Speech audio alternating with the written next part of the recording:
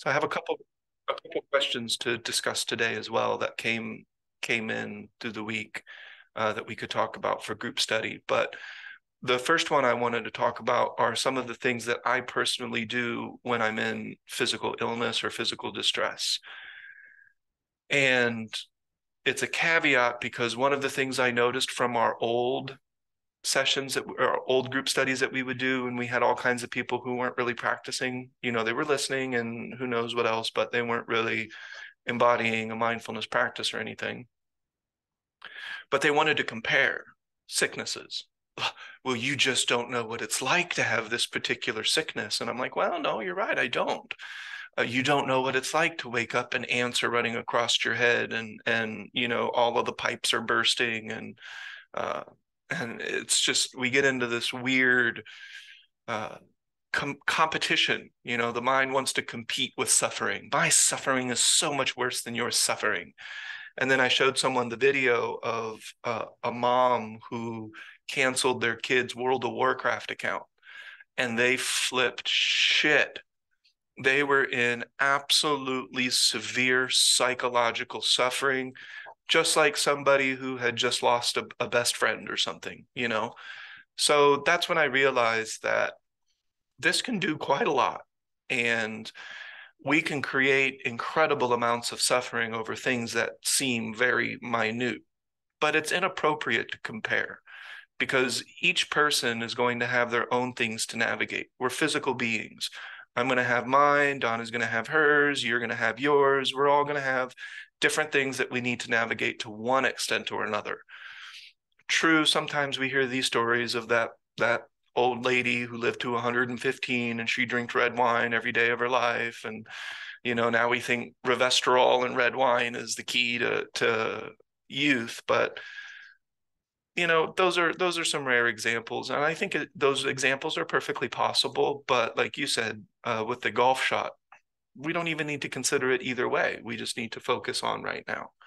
So, two things that helped me when I had that 2020 COVID and some of the things that I started to do when I had kidney stones. Now, keep in mind, when I had kidney stones, I was um, still really on the on the the verge of understanding how my attention was connected to everything. So I was still kind of, you know, working with it because I, I I had to go to work. They wouldn't let me take time off. So I had to go to work with a kidney stone and come bathroom time, I'm like, this this is I don't want to be here. Like this is absolutely terrible. But that's the environment. That's the work environment that we we used to uh, put up with in the United States. And it's it's woke ideology now that it's, it's, oh, it's this is a tangent, but I read this thing that unions want and uh, things that they wanted for themselves throughout history, like better working conditions, better pay, pay time off. That's not woke ideology. That's fine. That's unions. That's cool. But the moment that somebody in a tech company or uh, in the service industry demands the same thing, they're like, oh, you're soft. And it's like, what? They're asking for the exact same thing that people in coal mines in the 1920s and 30s were asking for safe working conditions, a little bit of respect, paid time off. And it's just like, it's just so silly. That's a tangent. That is the definition of a tangent. So, two techniques that worked best for me when I was uh, in the height of my COVID one of them is really difficult to describe, but I'm going to give it a try. The other one's super easy. I'll start with super easy imagination. So, putting any attention on my body felt like hot death, but using my imagination, both superimposed and uh, scenario, you know, imagining when I'm not going to be ill, imagining what I'm going to do with myself the moment that I feel better you know, I'm going to wake up and I'm just going to feel better and I'm going to go mow the lawn. No, let's take that back. Shayna's shaking her head. She's like, that because never mowed the lawn. So let's let's back that up. I'm going to do something. And that imagination was an opportunity for me to be deliberate with my attention, didn't really focus on my body, and it kept my mind from, we talk about idle mind. When you're sick, that's the example of idle mind because you're not really engaging the world around you when you're not feeling well. but you're also not really doing anything physically with your body. You know, you're not really getting anything productive done. You're just laying in bed ruminating on your illnesses. And that idle mind makes everything much worse. So when I was laying in bed with that temperature, I was actually imagining like a in my bubble of perception that things were changing relative to my temperature, like the world around me. Uh, and then I and then that would kind of take me into some philosophical things that I find interesting. But the number one thing that I was still able to do because of the imagination, I was present. And I wasn't really focusing on the pain or how terrible this felt. And I was still able to watch my thought. That was the key. Because if I wasn't able to watch my thought, my thought would take me places that made me feel worse. Does that make sense? And so, you know, I wasn't maintaining multiple points of directions. I wasn't expanding into the yada, yada, yada like I do now because I didn't feel well. So I just had to have at least one point of attention that I could hold on to so that I wouldn't let my thought go down rabbit holes. Does that make sense? Because it is still the same dynamic. It is more difficult when you're not feeling well to maintain certain points of attention. And the more we diversify our toolbox, the more we will have things prepared for when we're not physically well. So the more we prepare when we are well, the more we will have tools that are beneficial when we're unwell. And the number one reason we would want to do that of course, I think that imagining health and imagining light and things can make you better. You know, to a certain extent, we are interacting with things that we don't quite understand. And I can't quite explain, but it's there. I know it's there. But I do know that by maintaining at least one point of attention, that gives me cognitive attention recognition to where I can recognize my own thoughts as they're occurring don't have to recognize my behaviors because I'm laying in bed sweating, you know, and feeling terrible. So there's not a whole lot of behavioral attention. But I was still able to watch my thoughts. And I was really surprised how often my thoughts, because I'm feeling ill, would want to go negative and fatalistic, so fatalistic, like, ah, this is the end. You know, I'm done. I have nothing left. And it's like, wait a second, I just have the flu. You know, it's like, hold on, let's back this up a little bit. And I will, and as I was telling Gene, that 2020 COVID before everything shut down, and I don't know if it was COVID, but it fit all of the symptoms. Every single one of the symptoms that we later talked about with COVID specifically, I felt. And the number one characteristic was the pain inside my bones. I've never felt that before, except for when I got my COVID booster. And then so I connected those dots. I'm like, this is weird. The only time that I've ever felt pain in my bones was when I had the flu in 2020, but I also felt it with the booster. So I do associate what I had in 2020 to some sort of version of the coronavirus. But it was the worst I have ever felt outside of kidney stones. So the first technique that I used was imagination to keep attention just on my thought. That's all I wanted to do. I wasn't really maximizing necessarily. I was, but I wasn't focusing on that. I just wanted to make sure that my thought didn't take me in a place that would make me even physically worse. Does that make sense? And that is tricky, but it can be done. But it's like that that same dynamic that if we start practicing at 2 p.m when we're experiencing a challenge, we're going to interact with that challenge differently than if we would have started practicing the moment we woke up. So if we only use our practice when we're not feeling well or when things aren't going well, it can still be beneficial. So I'm not going to sit here and say that it, it it will be worthless. It will be beneficial, but it won't be as beneficial had we been practicing throughout the day, just in between, making sure that we're not coasting. So that first technique that I used when I wasn't feeling well was imagination because I could imagine my dragons, I could have a talk with Soul. And then of course, Soul, you're not dying. You know, you're just you're in pain, you're in physical suffering, you're a physical being. And then of course my mind would be like, well, I could try to be like Buddha and secede physical suffering. And and then Soul would remind me, Buddha's a story. You know, maybe it's true, maybe it's not true, but it's absolutely worthless for you right now. So to sit here and try to compare yourself to Buddha or some imaginary uh, image of perfection, how is that helping you? Right, it's making you feel worse.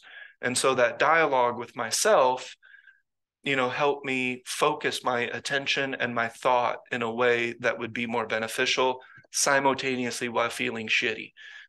Sometimes the mind gets on this erroneous time scale and this erroneous goal scale. You know, we want to not feel shitty. Well, I get it. Mm, of course, we don't want to feel terrible, but you do. And it is. And if our mind is more focused, we can minimize the pain, which maximizes the experience. And that's why I created that phrase called maximizing. Uh, maximizing is when you are experiencing a challenge. You're, you're, this is the best it could be right now. And I'm just going to run with that. That's the best it can be. Does that make sense?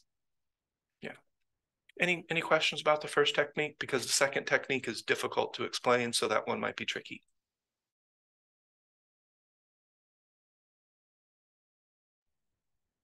also my opportunity to take a couple sips of coffee.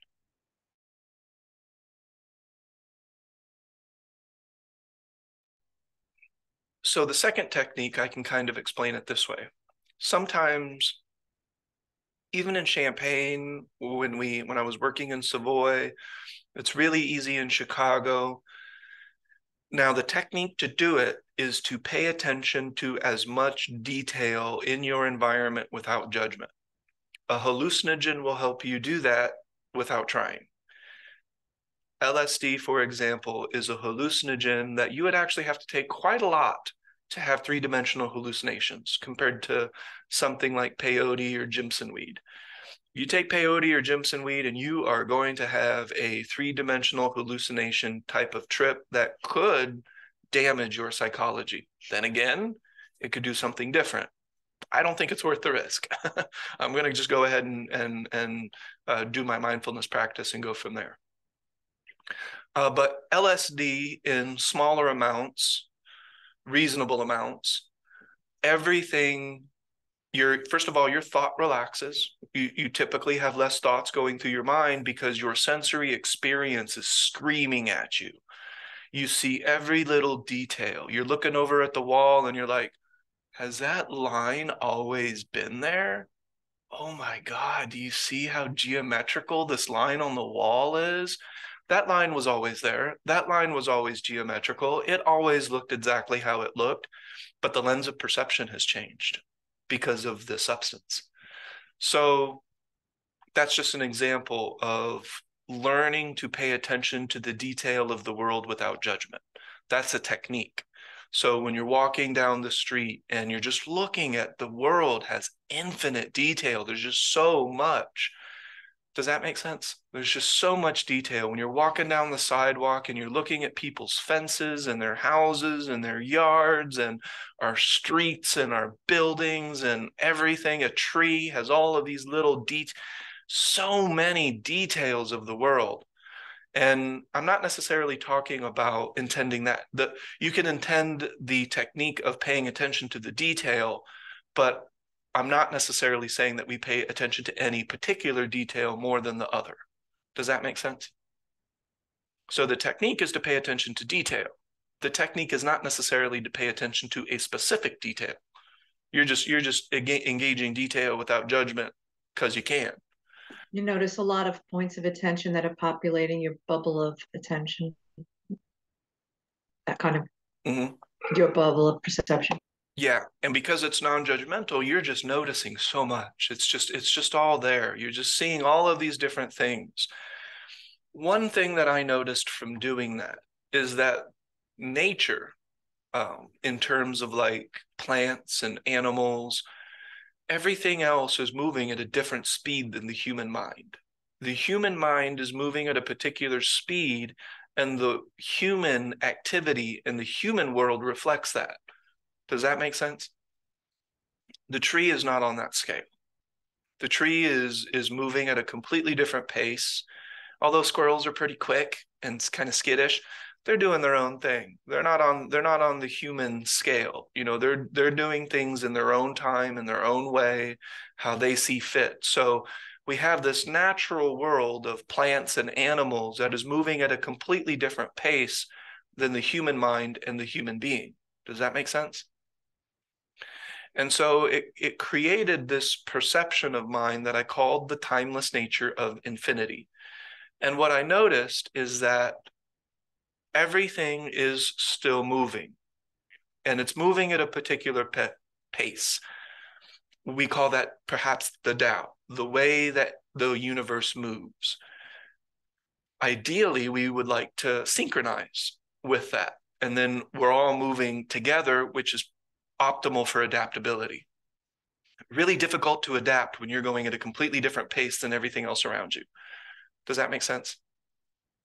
And so, for example, walking in the city, I engage the timeless nature of infinity. I see things moving how they're moving. And then all of a sudden, I realize, or I, guess I used to give the example of I'm walking on the same beach that potentially kings and queens and people of antiquity have walked on the same beach with the same attention, looking at the same sky with the same sun, right? It, it, there's so many similarities in that regard.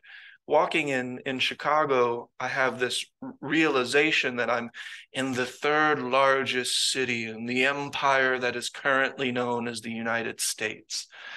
And it and it creates this thing where past, future, and present sort of converge. Does that make sense? It's a it's a really interesting feeling because I can see that people in the past, imagine walking in, oh, let's say like Jerusalem or Rome, when it had like a million plus people. Ancient Rome had about a million people. And did they realize their place in this stream of space time continuum? I do. And it gives me certain insights, such as everything that we're looking at someday will not be there. Right. And it's it's weird I guess to kind of connect that to feeling sick. But when I do that, all of the fatalistic thoughts go away. That I'm just in this process, in the stream of time of everything else. And in a thousand years, there will be human beings that are going through something very similar to me.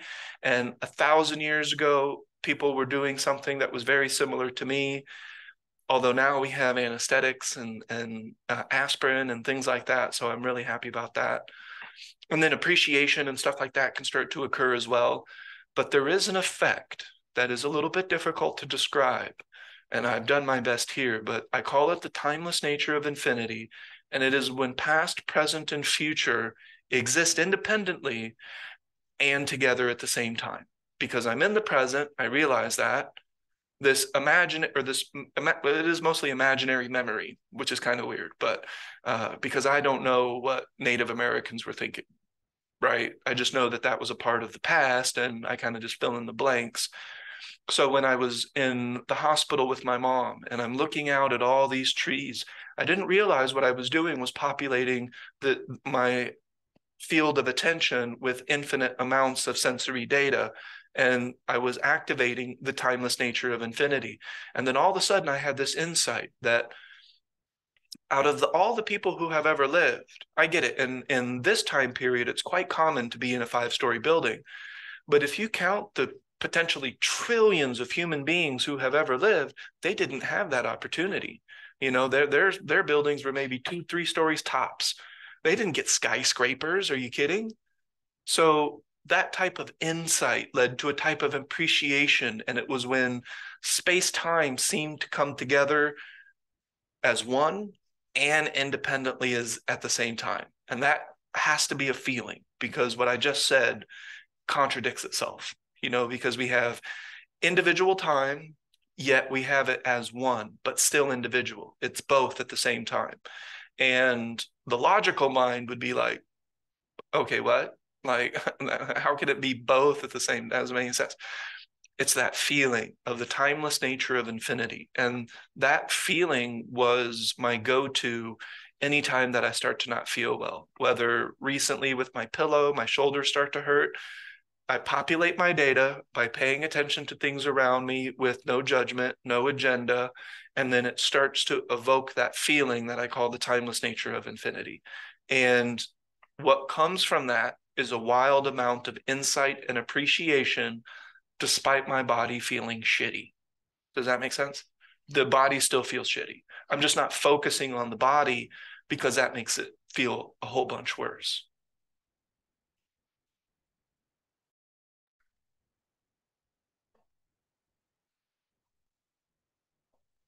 You're unmuted, Gene. You saying saying something? Yeah, I was going to say something. But... Yeah, go ahead.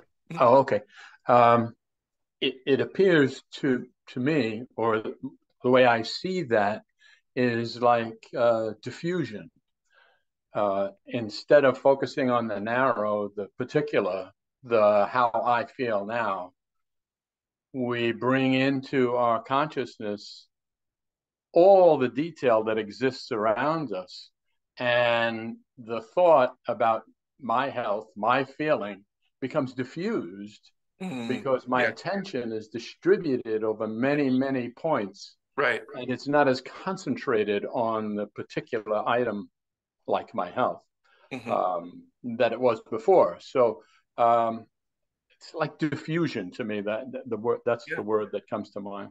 I think that's okay. Um, I did do a lot of rule of three because Gene, you might notice that when you're not feeling well and you keep reciting that in your mind, soul would tell me, it's like, Ernest, you already know you feel shitty.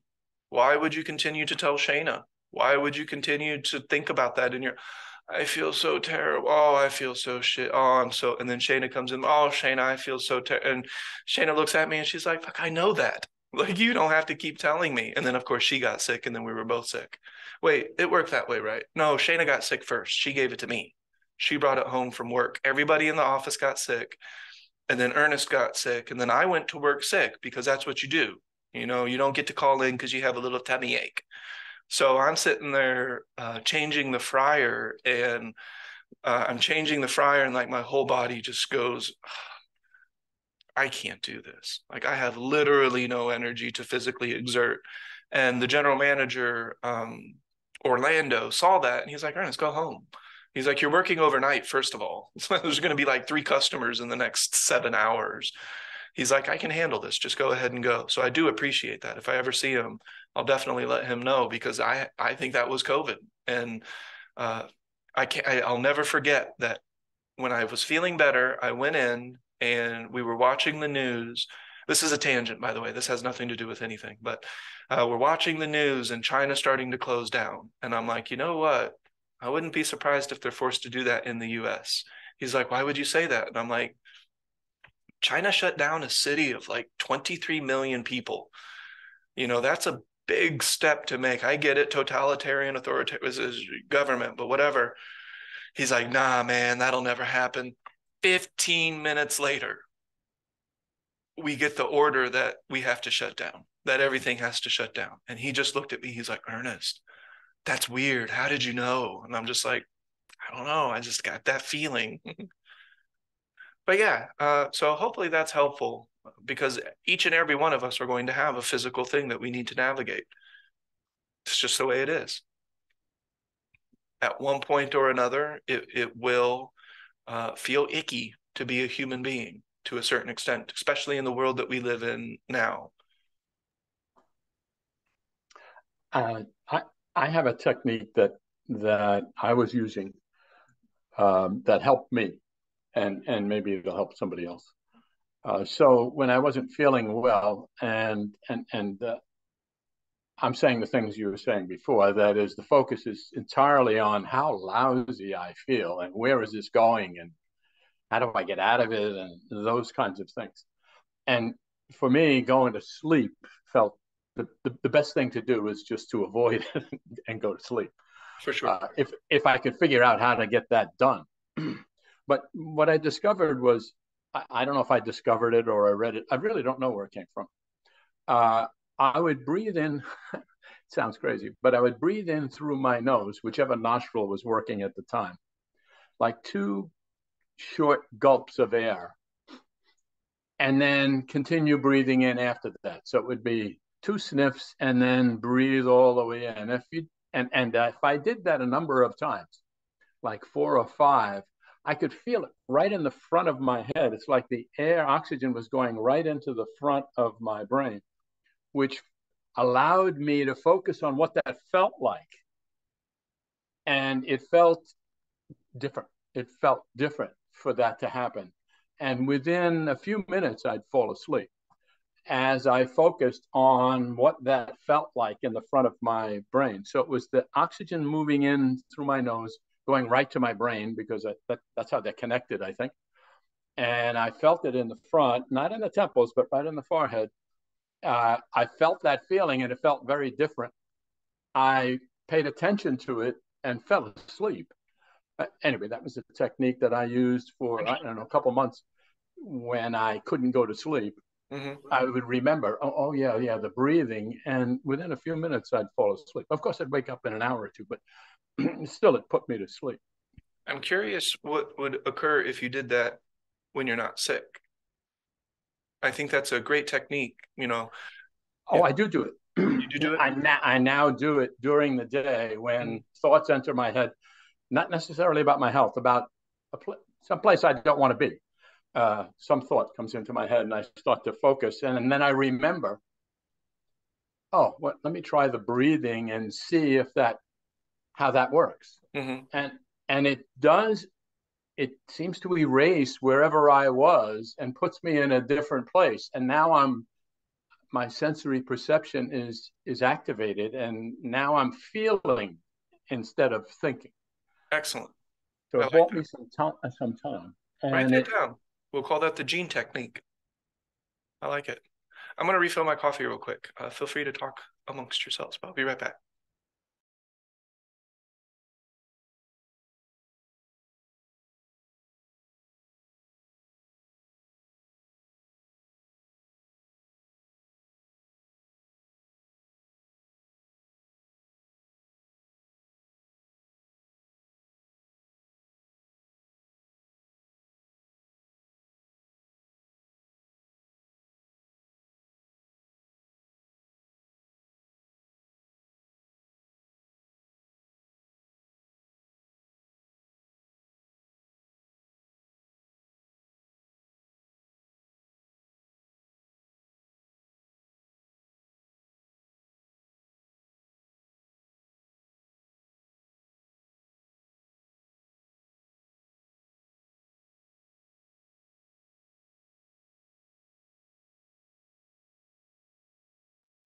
All right.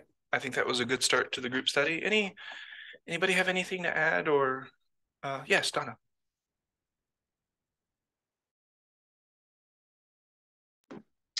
Yeah, um, I was as I was listening to your um, explanations, I didn't, you know, I was recently in the hospital, and that was in a very acute form of distress for um, long time. It was really the waiting to be seen that was the most difficult for me to navigate because the fact that I went to the ER was because I was concerned that this was an extreme thing and um, to redirect the thought from they're not taking care of me, how long has it been, that kind of thing. You know, uh, I didn't use imagination in any of that. And, and and since then, I've been navigating the medication they gave me and and healing um and i didn't I, I didn't use that technique. I didn't use imagination. But what i identified with was what you were talking about the uh, timeless nature the the timeless um sense of of nature. And and um populating the data in the room, populating the data in the ER, and no, and and and I think in the past I called it noticing principles. You know, noticing the principles of things, and I did not do. I did not do that to distract from paying attention to what was physically happening in my body because as a nurse and as somebody sitting in the ER thinking, am I getting worse and are they going to treat me in time? Which is the reason for going to the ER, was I have to keep one part of my brain on this point of attention, this, this condition that I'm experiencing, this imbalance, just to make sure that it's not getting any further in the extreme that it is so that I have to alert somebody that it, it's getting worse. So I just accepted the fact that you're going to wait a long time, they are getting to you as fast as they can. And just keep one point of attention on that instead of the stream, streams of thought about it. What would happen if i don't? If they don't listen to me how come they took that person first? This you know you know whatever. And and um, there's a difference between comparing and contrasting those are the stories that you're telling about you know your illness and what's happening here and the fairness or not fairness of it or the or the efficiency of it or the not efficiency of it or whatever story. The comparing and contrasting is different than noticing similarities and you know um, anomalies and and um, what's the opposite word of anomaly similarities and, anomalies and so i do that because that's separate from the story of my illness. Comparing and contrasting is part of the story of me being the center of it.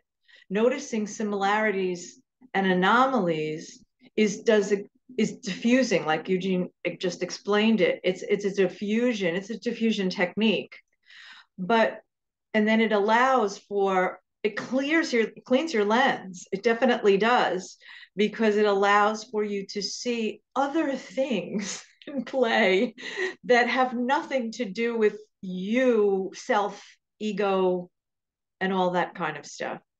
So um, that I do a lot, and and nature. It's harder because I haven't been walking. I haven't felt up to it, and it's really cold out. But nature, but I have a whole little thing going on on my deck with the crows and the squirrels and craziness.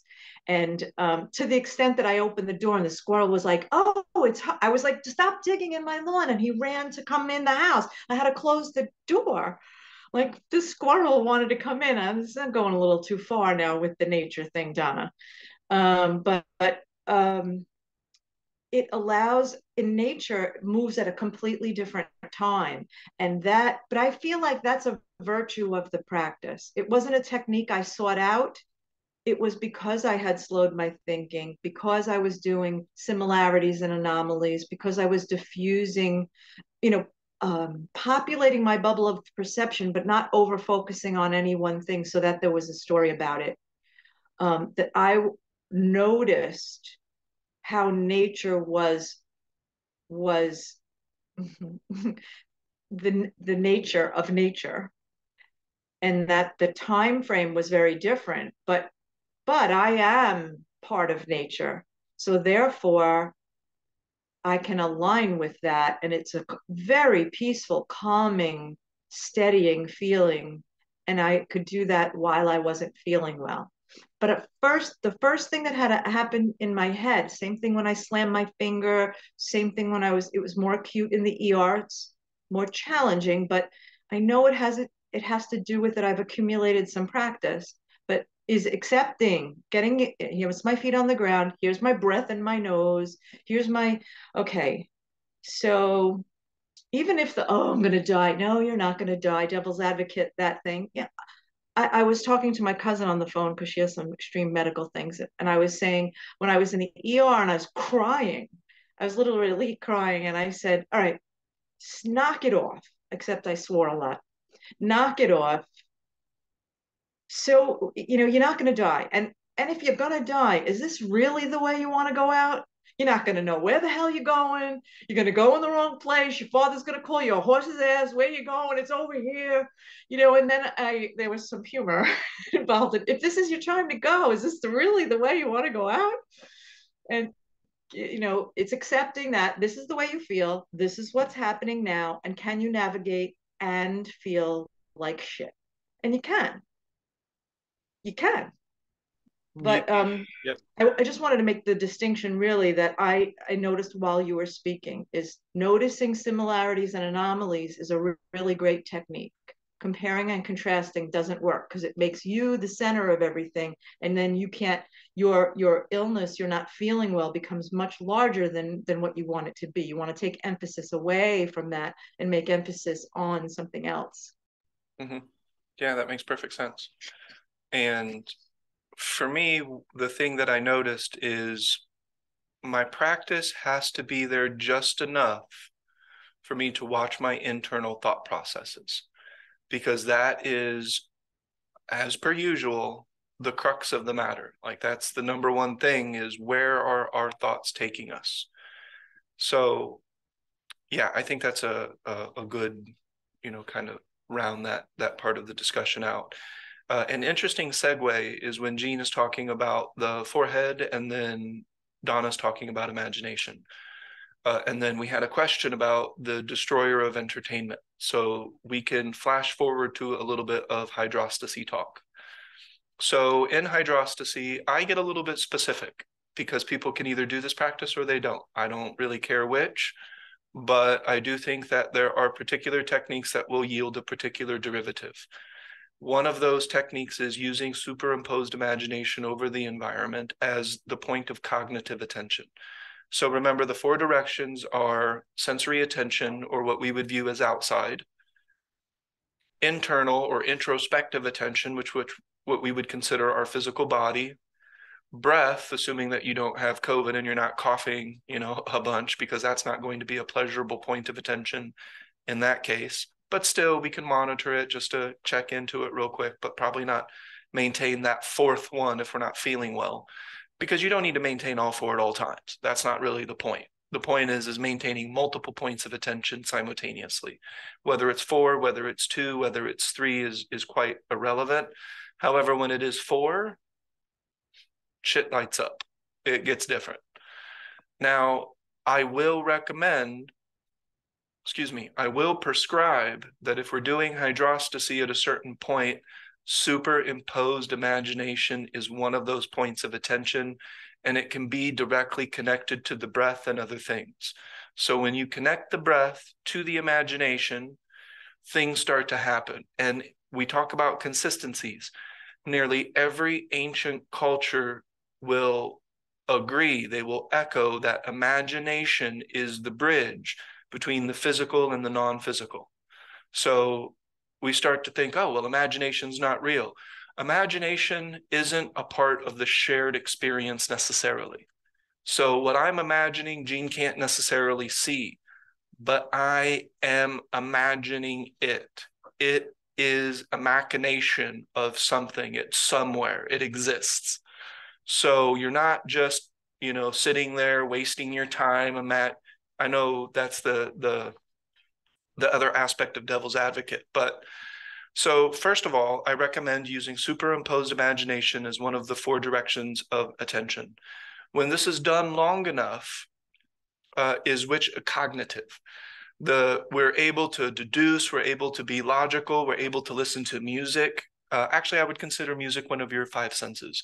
Um, but if you're not listening to it and you're imagining sound in your mind, then it would become that point of cognition. Does that make sense? Yeah. So what it that makes would, sense, and, and and and maybe we maybe you could give us a really good um definition of imagination because I just had a light bulb moment. I I always say oh, I didn't use imagination because I don't think anything that I make up isn't real. I don't I don't get in an argument with myself about whether that's real or it's just my imagination imagination. no, Do, sure. you know what I mean? Like it doesn't matter to me whether I really have this space that I am aware of in the center of my head. If I am placing my attention there, then I then it, it exists. Mhm. Like so I don't even consider it imagination anymore. It's like, oh, I have this new awareness of this light. It's in the center of my head. And and and if somebody goes, that's not real, you're just imagining it. Like, it doesn't matter. I am it is my experience so it's real and and i don't have that argument so i say i didn't use imagination but i guess i do use imagination as a technique it depends on the Mm-hmm. definition Sure.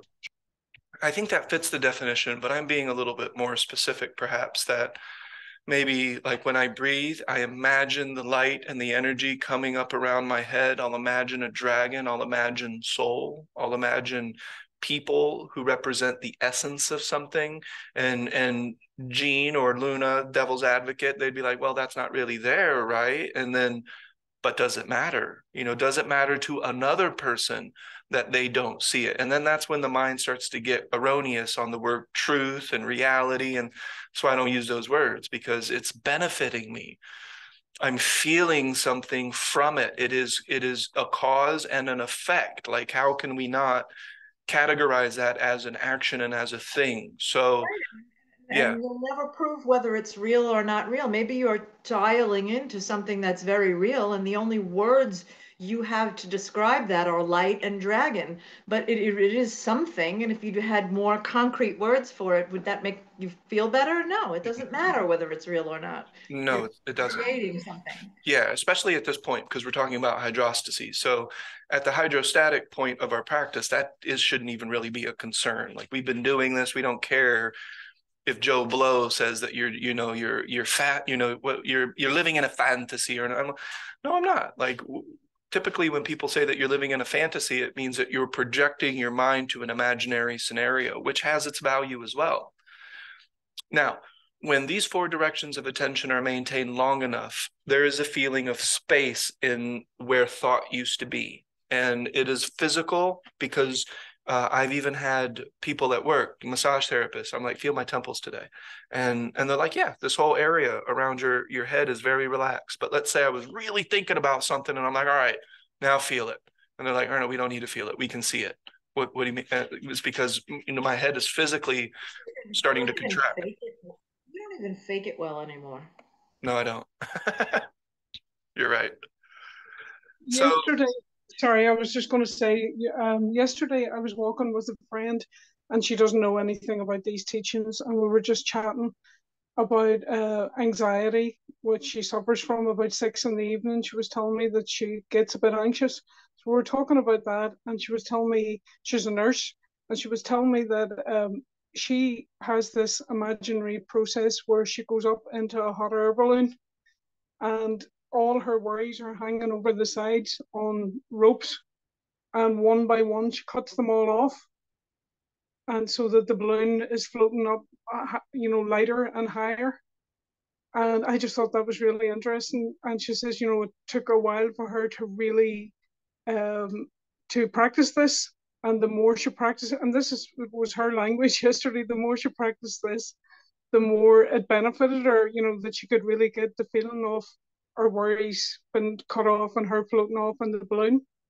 And another thing, I thought I thought about Gene when when she told me this because she plays the piano, and she told me that a double clef, that's the curly note, you know, the one that has the big curl on it. Uh-huh. She she breathes in when she's lying in bed at night to the shape of the double cleft or whatever it is, treble or whatever it is the curly one, you know, starting our breath in the center of it and going right round up to the loop at the top and down.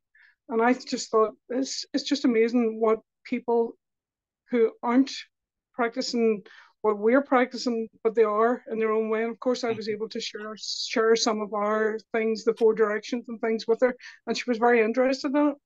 So I just thought it was um, oh yeah beneficial to those two tricks of attention: the cutting off of your worries and floating away, mm-hmm. and the breathing to the cleft.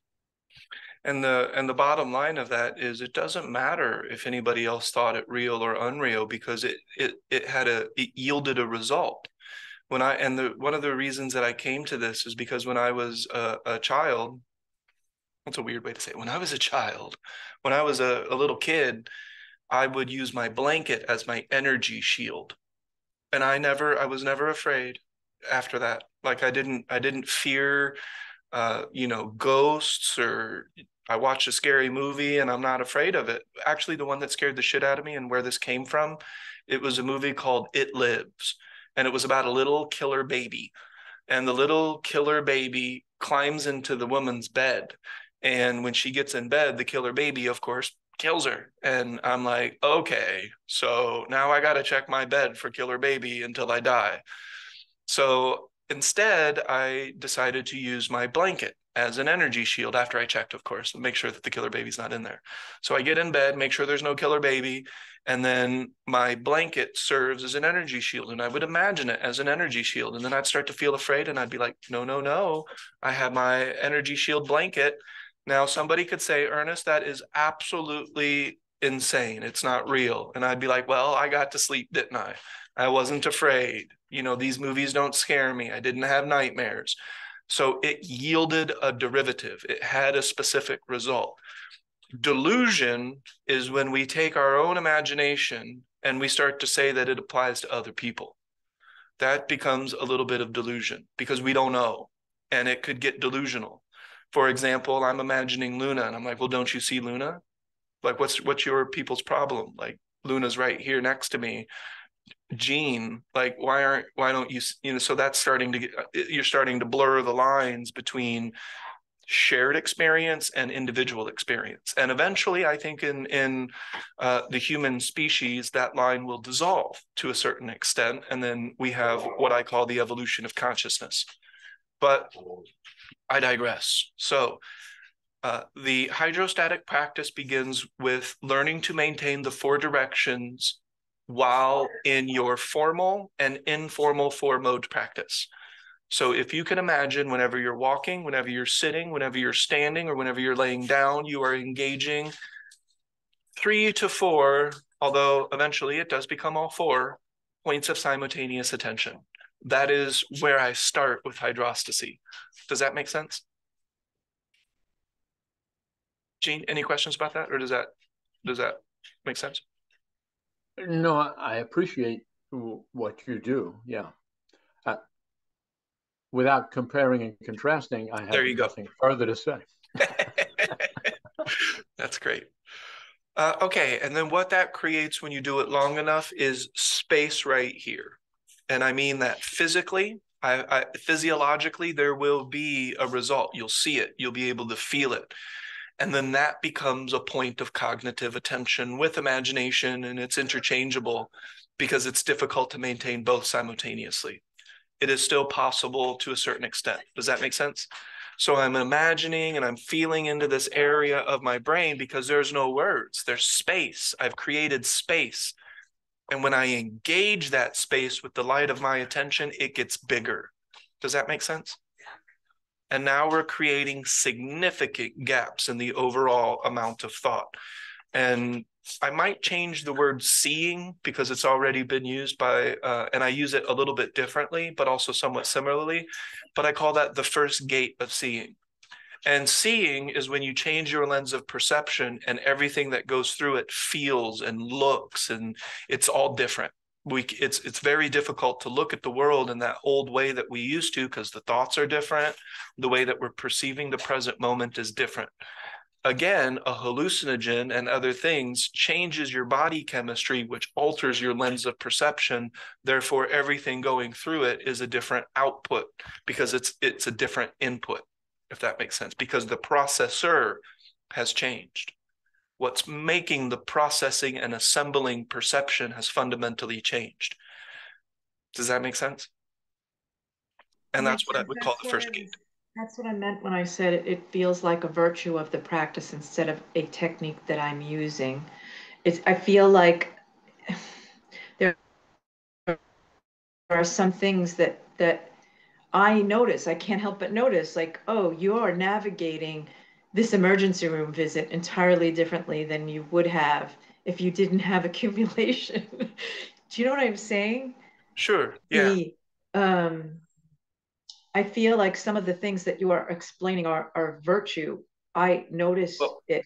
It's not that I am trying to utilize a technique. Mm-mm. I'm using my techniques, and now I have a different lens that I see through. So I notice, I allow other uh, dynamics of what's happening around me to be seen. I don't know how else to explain that. Well, first of all, it is somewhat, of, uh, I wouldn't say virtue. I'm going to uh, steer clear of that word, but I would say it is the result of an accumulated practice that it occurs in the first place. But it still requires deliberate attention to maintain it. So your attention could go anywhere else other than that space in your mind. Does that make sense? The practice is where that's coming from, right? So it is a result of the accumulation of the practice and the technique. However, once it occurs, it could easily go away if you don't give it the light of your attention. And when you do give it the light of your attention, it expands and it becomes even more profound. And that's what I call the first gate. Does that make sense? And then I'm going to get to uh, one of the questions about the destroyers, but I can't get there until some of this is understood because I don't recommend giving the destroyers any thought, any attention, one iota until we have done some of these other things. And there's a reason for that. Does that make sense? And here's the reason for that. And you this this picture should seem super duper familiar. But we have what I call the human being. Actually, I don't call it that. Other people call it that. I didn't make that up. That's a weird way to say it. So we have the human being, and that's looking like a little pipe. And the human being is a conduit. This is consistent among cultures separated by space and time, that the human being can act as a conduit between the seen and the unseen, the infinite and the finite. Now, this square is the lens of perception. Does that make sense? It is your lens of perception. It is your body, it is your mind, it is your experiences, it is your environment, it is everything. Does that make sense?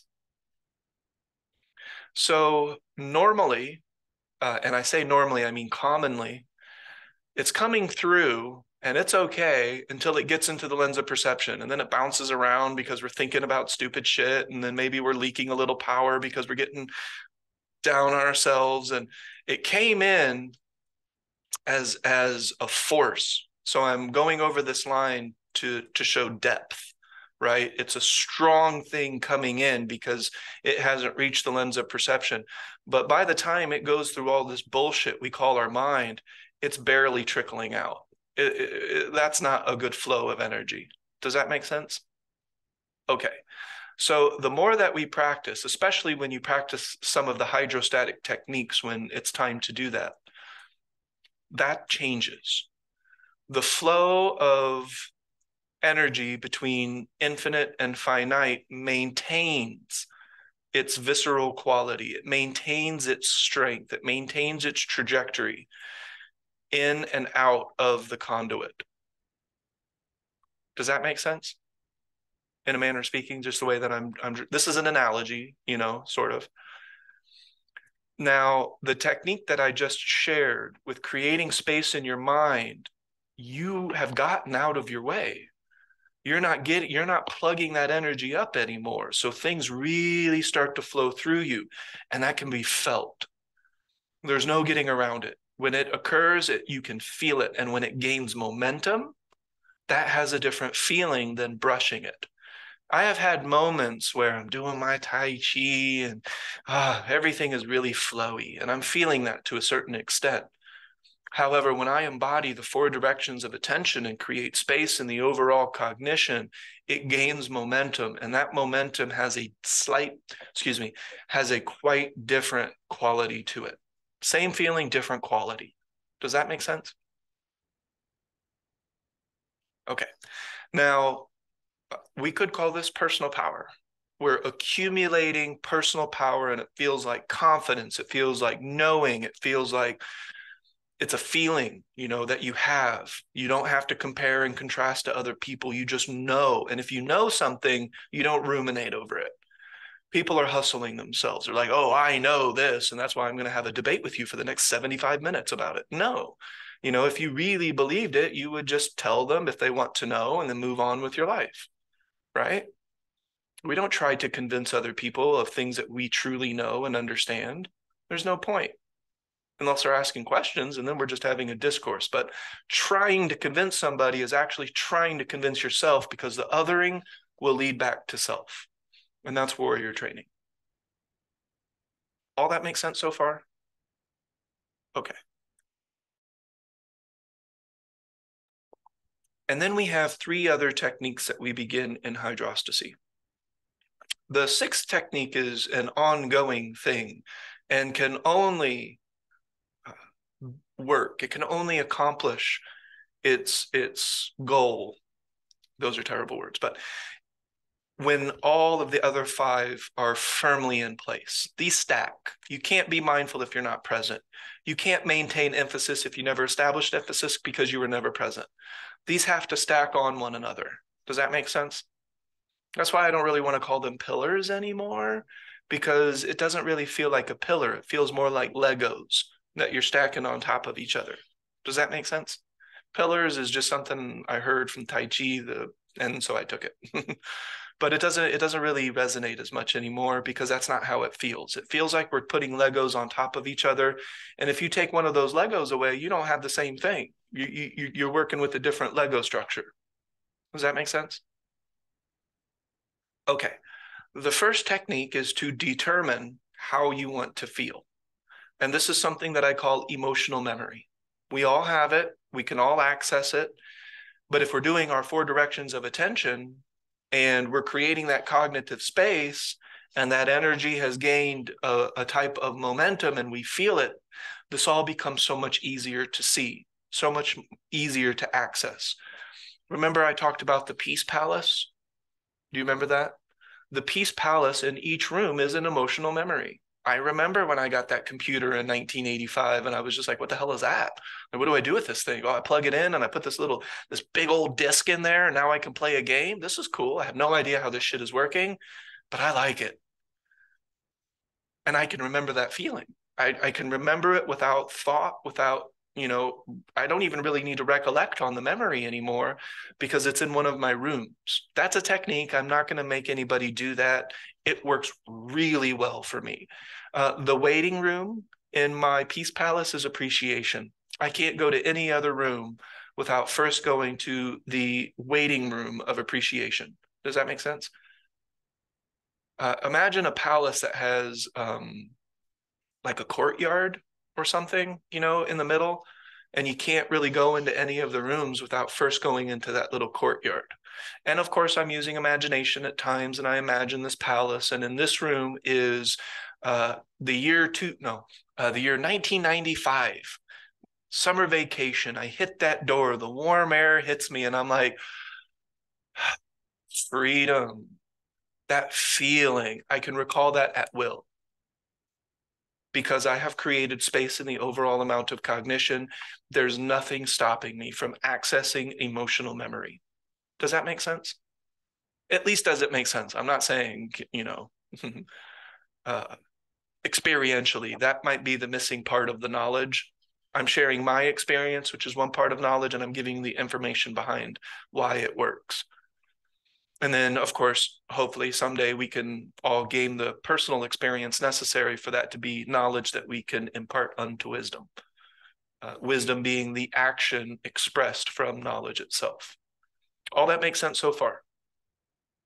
Okay, and I'm still getting to that that question about the destroyers, but I can't get there without explaining the practice because we would be analyzing it we would be thinking about it. We would be trying to understand it, comparing and contrasting, labeling and judging. And that is the worst ways to interact with the four destroyers.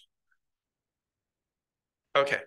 So the second technique is to create all that space because we're doing everything else. You know, we have our four directions of attention, we're using our imagination, sensing into the cognitive space, and then all of the sudden, the essence of the moment opens up to us we can feel more in this moment. There's just something else to it.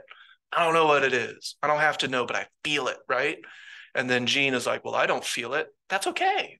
You know, that doesn't change anything about my experience and how I feel. It's real to me.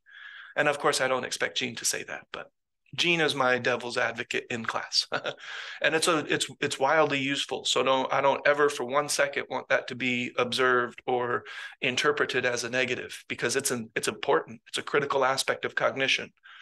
So, and I mean that literally, critical. You know, we have to be critical about certain things to see them from a broader perspective, objectively. So that becomes a new room eventually in my peace palace I can create a new room about what was it like to walk through Chicago and feel the timeless nature of infinity. There have been cities of the past. I'm in the city of the present, and eventually there will be cities of the future. One day they'll be walking on top of where I am right now, or they'll be rowing a boat because it will be underwater. We don't know. But the bottom line is that it will change and it will change on top of change until it's completely unrecognizable. And then someday somebody's going to be digging and they're like, I think I found a structure and I think it goes down like 120 stories. It's like this weird uh, skyscraper, right? Because they dug it up and they found it. So that feeling is a new room that I can put into my peace palace that becomes emotional memory that I can determine whenever I want to. Does that make sense? And that's the first two techniques of hydrostacy. deliberate modulation and sensing energy to create new emotional memory. For the record, this is nowhere else. I've never read about this. I've never heard about this. This is something that I've put together through my own experience, consistencies and anomalies throughout cultures and yada yada. Okay, let's say we're doing all of that and all of that is moving and we're doing our thing. Then we can start to work with this. Give me a second to draw it though.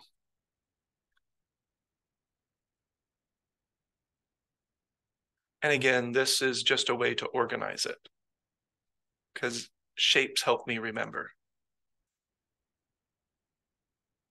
And you know, I like the Merkaba. So here we go.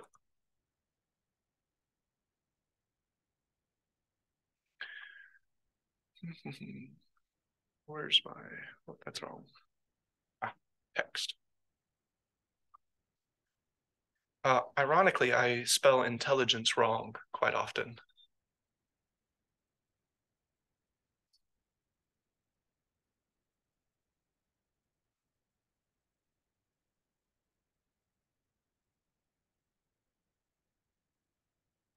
Eventually, we do talk about the differentiation between these three things.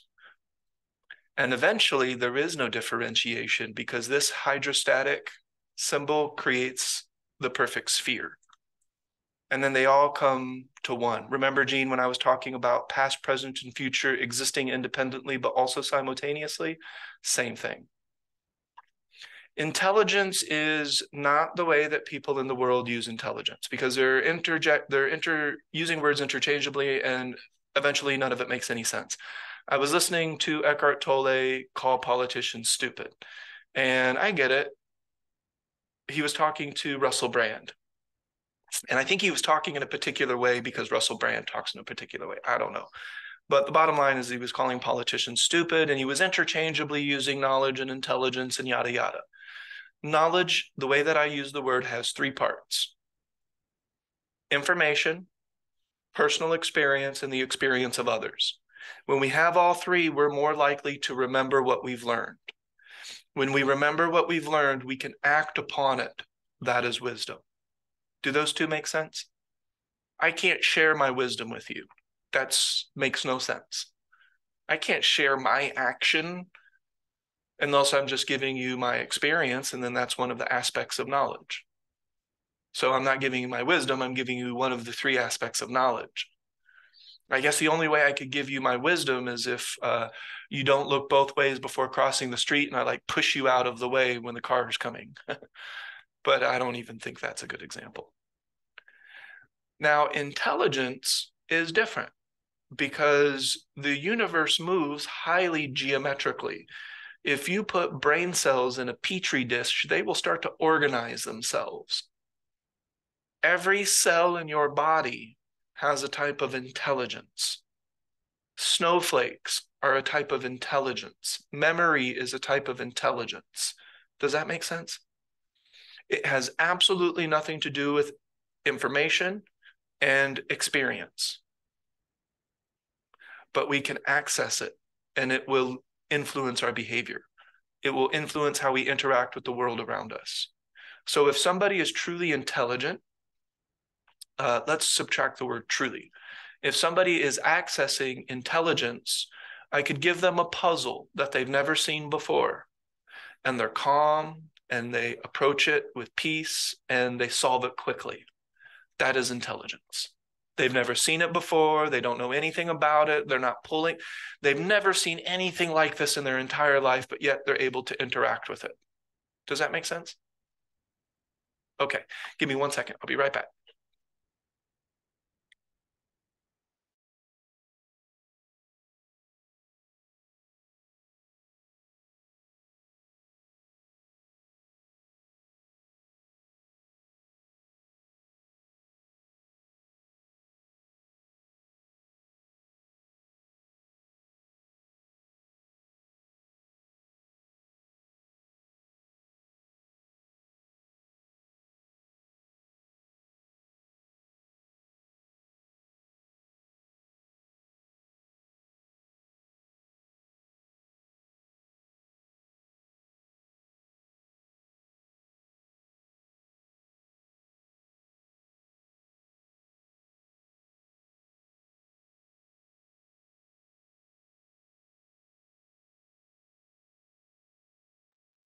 Okay. And I don't prefer the word advanced, but this is as far as my teaching can go. We're getting to the end of the matter. So next in this triangle, because we still have three points that I haven't named, right?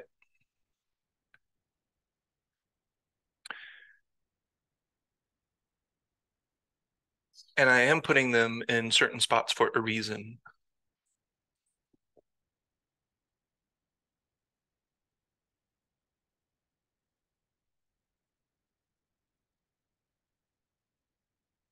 Okay. Let's say that Gene has the desire to go play golf today, but he has other things that he needs to do, so he doesn't really intend to do it. Does that make sense? So desire and intention must be two different things because Gene can desire something, but then not necessarily intend to do it. Right? And I'm using Gene because his camera's on and he hasn't been here in a while, so he's going to get picked on. I'm just kidding. But no, I'm actually doing it, so I guess I'm not kidding. So the other one is will or the action that one takes. So Gene could have the desire to play golf, but he's like, you know what? I'm going to go about two o'clock and go play some golf. But then he doesn't do it. So the willpower exists independently from the other two. Does that make sense?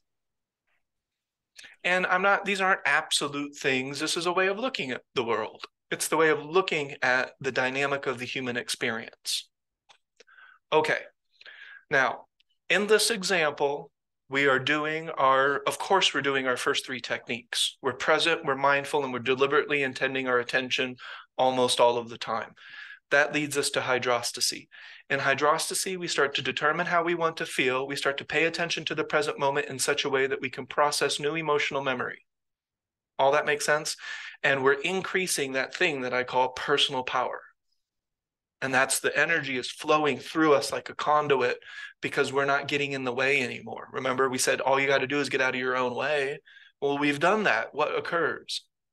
And so, in the center of this, we have what I call personal power. And I'll put that right in the center. With enough personal power, the will is easier, the intention is clearer, the desire is going through a clearer lens of perception. And then before you know it, intelligence and desire are almost overlapping. Intention and will are almost overlapping. Knowledge and wisdom are almost overlapping. And when they're active and we have energy flowing through without getting in our own way, we create the hydrostatic effect. It's this circle of intention, will, personal power and we can start to interact with the four destroyers. So uh, the destroyer that was mentioned was entertainment. Just like everything, entertainment is not good or bad. It's not plus or minus. I hope you find me entertaining right now, at least to a certain extent, right? Or you wouldn't be here. Like, we have to have some entertainment. Well, maybe not. I don't know. Maybe I have zero entertainment value. It's just information. I don't know. I think I have a pretty decent sense of humor that brings a little bit of entertainment value.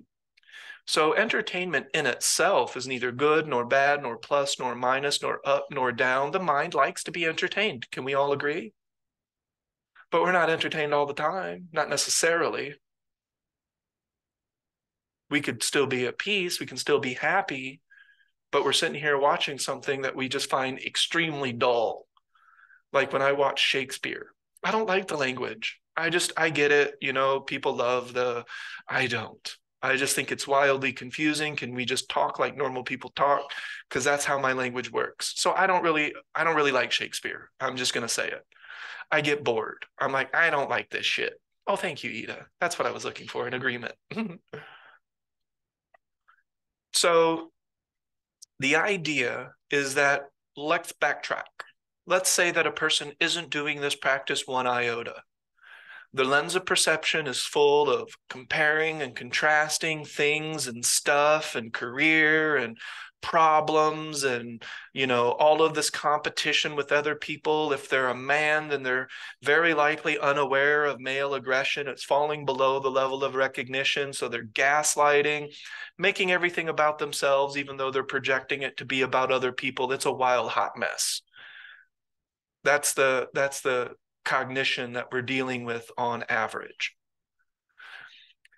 that's when entertainment starts to become this thing that's imbalanced because there's no peace, there's no relaxation, there's no connection, the energy isn't flowing. And what does that lead to? It leads to the mind needs new, it needs more. And so entertainment becomes this thing that's filled with drama. Have you ever noticed that the vast majority of successful movies and TV shows involve killing massive amounts of people? It leads to Twitter. There you go. I I like uh, Keanu Reeves, and I still haven't seen. And I'm not again. I'm not judging it. I'm not saying that you shouldn't go watch these movies, but he has that one movie uh, where his dog dies, and he just goes out on this vengeful wrath. And I get it. Like I love my dog, so I can kind of identify with that a little bit. But uh, I can't remember the name of the movie, but he the body count in those movies are innumerable. Like you'd really have to focus in to see how many people are dying. Boxing, we could box with gear so nobody gets hurt and we could still do our sport and we can still have fun. But nobody wants that because they want to see people get knocked the fuck out. They want to see the violence. So entertainment is neither good nor bad, plus nor minus, up nor down. But when the mind is not balanced, entertainment is not balanced and it starts to go a direction that is absolutely terrible. So I played Grand Theft Auto and I started to realize these things that I don't want to kill all the I started to just do taxi missions. I would just pick people up, take them to their location, and I would get a hundred or three hundred bucks for it in the video game. And that's all I did. I listened to the radio, I observed the traffic signals, and I drove it like a driving simulator, and I just played taxi cab and someone saw me and they're like, Ernest, what the hell are you doing? And I'm like, I'm just playing this game how I want to play it. I don't want to go around shooting everybody, killing everybody. It just, I like driving simulator. And it also had pool. You could go to like the pool hall and play pool. So I like that too. So entertainment itself is not bad. I have lots of things that I do that I find that are entertaining. But because the lens of my perception is more clear, because my energy is flowing, I don't need these weird forms of entertainment. Could I jump out of a plane? Probably. Will I? Probably not, because I'm not seeking that type of entertainment. I don't need that thrill to feel a lot because I already feel that. I feel like I'm jumping at, well, maybe not. I haven't jumped out of a plane at 30,000 feet, so devil's advocate won't let me make that claim but I'm feeling something, right? I don't I don't necessarily need that. So the four destroyers really are the destroyers because of the mind, not because they're bad. Habit isn't necessarily bad. It's just when it goes unchecked below the level of recognition, it goes out of balance, it gains accumulation, and it will cause suffering. Who just said that? Donna just said that's the most hilarious thing she's ever heard, but then didn't laugh. I didn't even see you laugh. I had my head down on the table and I'm laughing very hard inside. Okay. Um, the, the, the fact that you had Grand Theft Auto and you just played Taxi Cab with it is the antithesis of what Grand Theft Auto is designed to do to aggressive for aggressive males in our society and why it's so appealing. And the fact that you play Taxi Cab with the Grand Theft Auto is probably the most hilarious thing I've ever heard. Well, it has golf and tennis too. I can play golf and tennis. And I really like it because it's like you get this cool city vibe while you're playing tennis. I I have completed about 4% of the game. Same thing with I can't even work the controls, but um, I understand the addiction actually. It's an addictive thing when you said the kids flipped out when their mother took away that's because oh yeah because it's like heroin they took mm-hmm. she took away from them yeah so let's say that you want to paint a painting because you find it entertaining do it. Let's say that you want to go to the museum because you find museums interesting. Do it. Let's say you want to go downtown or you want to hang out with friends because you find it entertaining. Do it. But can you also not do it and still feel entertained? If the answer is yes, you are free. If the answer is no, you are trapped. It's that simple. Does that make sense? And now, because our practice is pristine, these are prerequisites, by the way, and it's gaining momentum.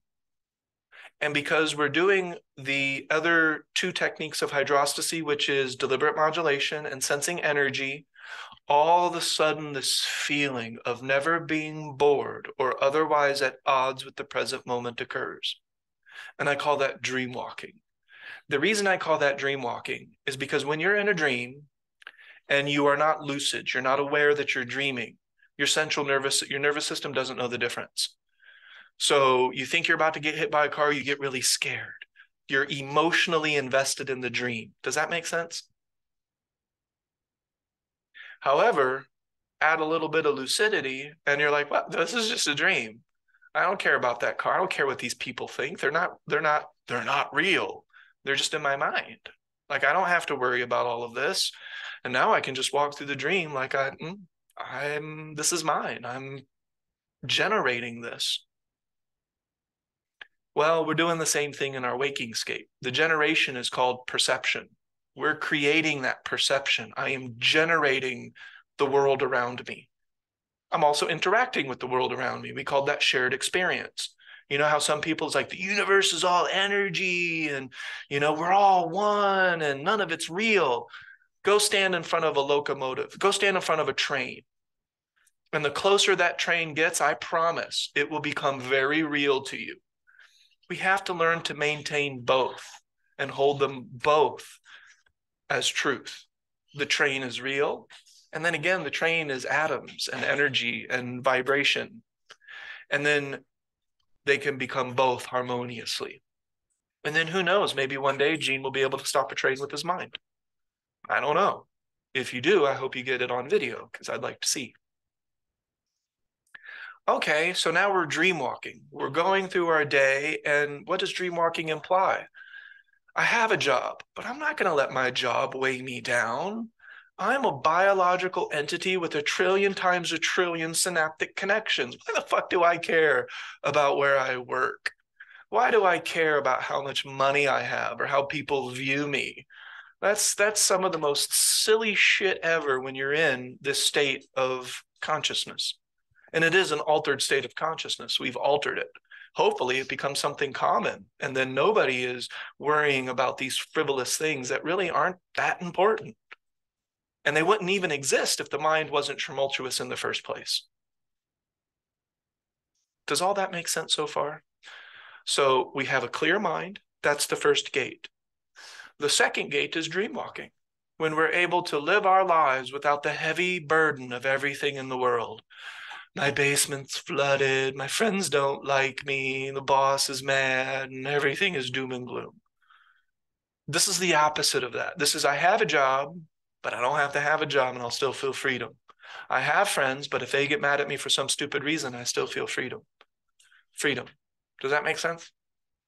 That's the second gate. The second gate is dream walking. And our lens of perception becomes infinitely more clear the energy is flowing and we feel personal power. And now, at long last, we can start to interact with our behavior. And one of the best ways to interact with your behavior, because we can feel when something isn't benefiting us, we can feel when something is taking us out of balance. We don't have to confirm that with another person. You can hustle yourself and say, No, I'm fine. Okay. Just wait it will accumulate and it will and then also locomotive hits you in the meantime it will accumulate and cause suffering for you and it will help create the conditions of suffering for everybody around you. I'm not responsible for the suffering of other people around me but i can create the conditions to make it infinitely easier. If i'm a huge asshole to everybody around me no i'm not responsible for gene getting mad but damn i didn't help at all did i? Like i was trying to trigger him So you can help create the conditions of suffering for people around you. And that is a responsibility that we have to take that's directly related to intention. Okay, what I recommend, assuming that all of these other points are in place, if they're not, back it up. Let's go back to the, you know, basics of our practice until it starts to gain momentum. And if you have questions about that, a one-on-one, I can clarify it for you. Let's say it's all occurring. Let's say we have altered the lens of perception. We are in an altered state of awareness, i.e., an altered state of consciousness. We've altered it because the lens of perception is clear. We're not complaining. We're not upset. We're not overvaluing little things. Things are important because we make them important. We give them importance. But then again, it could all just go away with the wind too. I have peace. I have joy. I have happiness. I don't necessarily need anything else. If I do, great. If I find myself in a in a luxurious hotel, I might enjoy myself for 10 or 15 minutes before I leave. And that's okay. Now, what I would recommend when we do start to interact with the behaviors that we find uninspiring, that we know is causing us to leak energy, we can look at it with this with this Merkaba. What is your desire? Is it intelligent? If the answer is yes, these two are connected. Intelligent desire. Oh, isn't that cool? The idea of desire being directly related to intelligence, such as not wanting to kill one another wouldn't it be intelligent for a species to not implode and kill one another? Wouldn't we agree that that's an intelligent thing to do? Sure. So is that a desire? If it is, those two have started to interact with one another. Eventually, they'll overlap and none of it will require thought. We're just assuming right now that it's it's not quite overlapped. Well, you can intend using your voice of power. So let's say that I'm walking to that that piece of cake and I, my body wants it. That's biology. That's the biological destroyer. That's my gut biome using the axis of communication to my brain saying, we would love some starchy, sugary food right now. That's fine.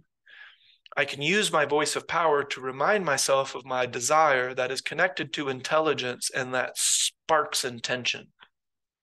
I desire a healthier body and more balance with my food. And then my voice of power will remind me that I don't have to declare war on cake or sugar or carbohydrates. But I know because of my feeling that that's going to take me out of balance. And I'm saying this to myself. This is my voice of power. Eventually, you won't need that necessarily. You can always use it if it's beneficial, but eventually these start to overlap. And the moment you feel it, you're just like, I'm good. It's that easy. And then habits start to just drop like they were nothing. So the intention will be something that I verbalize or I use my attention, and then my attention and my intention are now overlapping. The will is another thing, though. The will is directly proportional to that first thing that I drew where the energy was going through. So the more personal power we have, the more will becomes easier. If uh, let's use Donna as an example.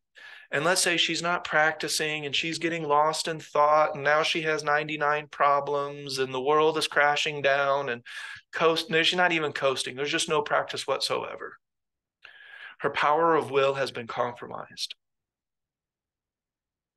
Does that make sense? Now, let's say Gene has just really put things together. He's really been maintaining points of attention. He redirects when he needs to. He's starting to feel this relaxation. The world doesn't feel so heavy.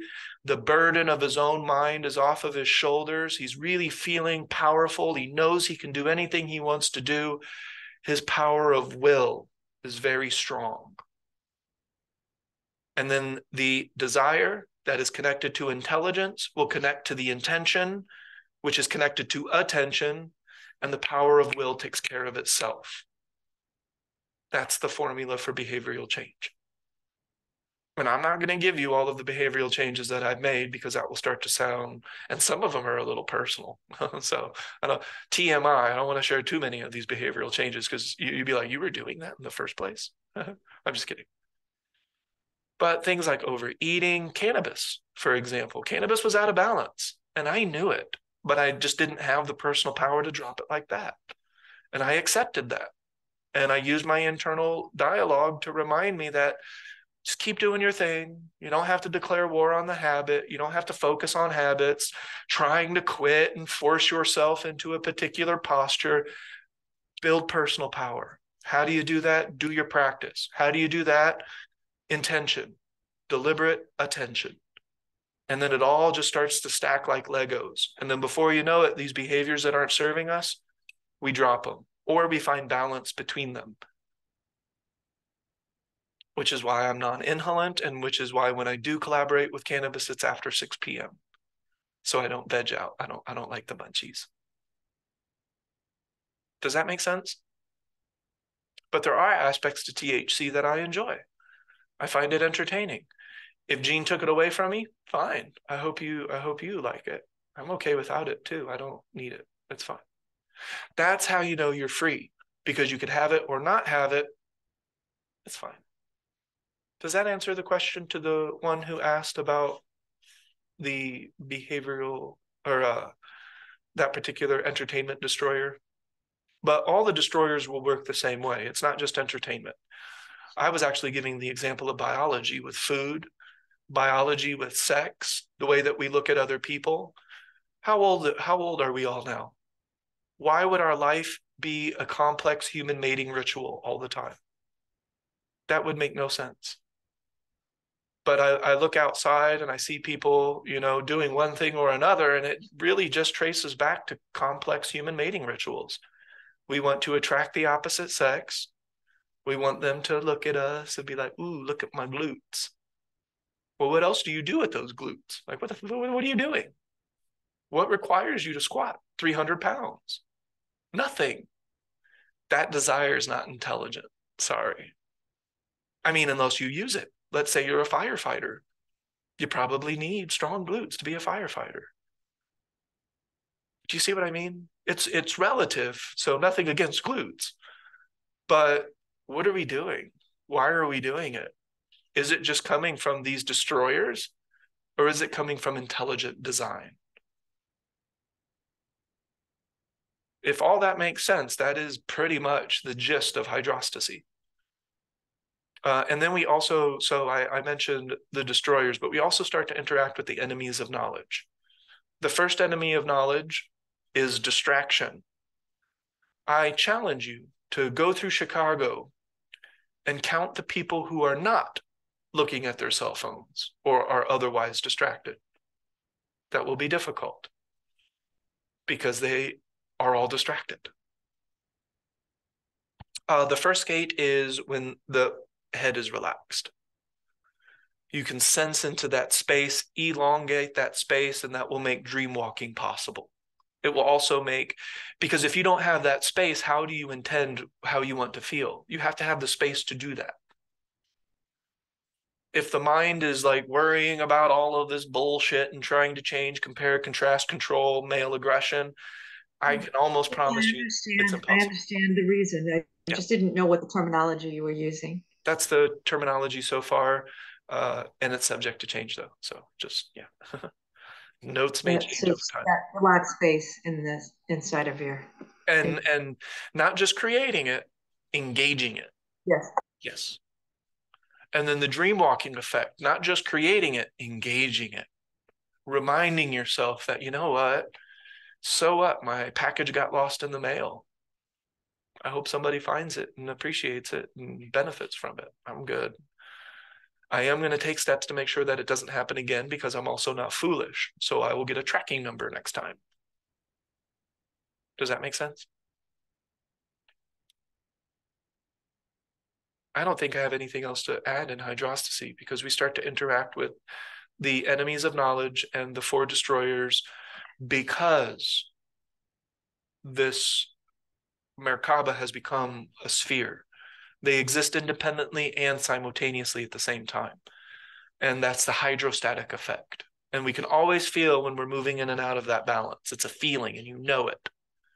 So you're about to go do that habit and you will have to hustle yourself and cherry pick in order to do it because your body won't your body will feel it. You'll feel the imbalance because you're going outside of your hydro, hydrostatic bubble.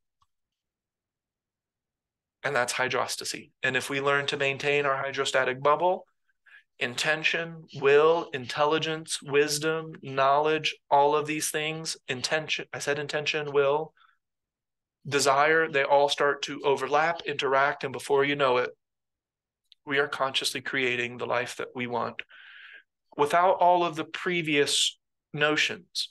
When someone first starts this practice, maybe their desire is to live on the beach and have no job and just have everybody tend to them, never do the dishes. I want everybody to just bring me everything and I just don't want to do anything ever.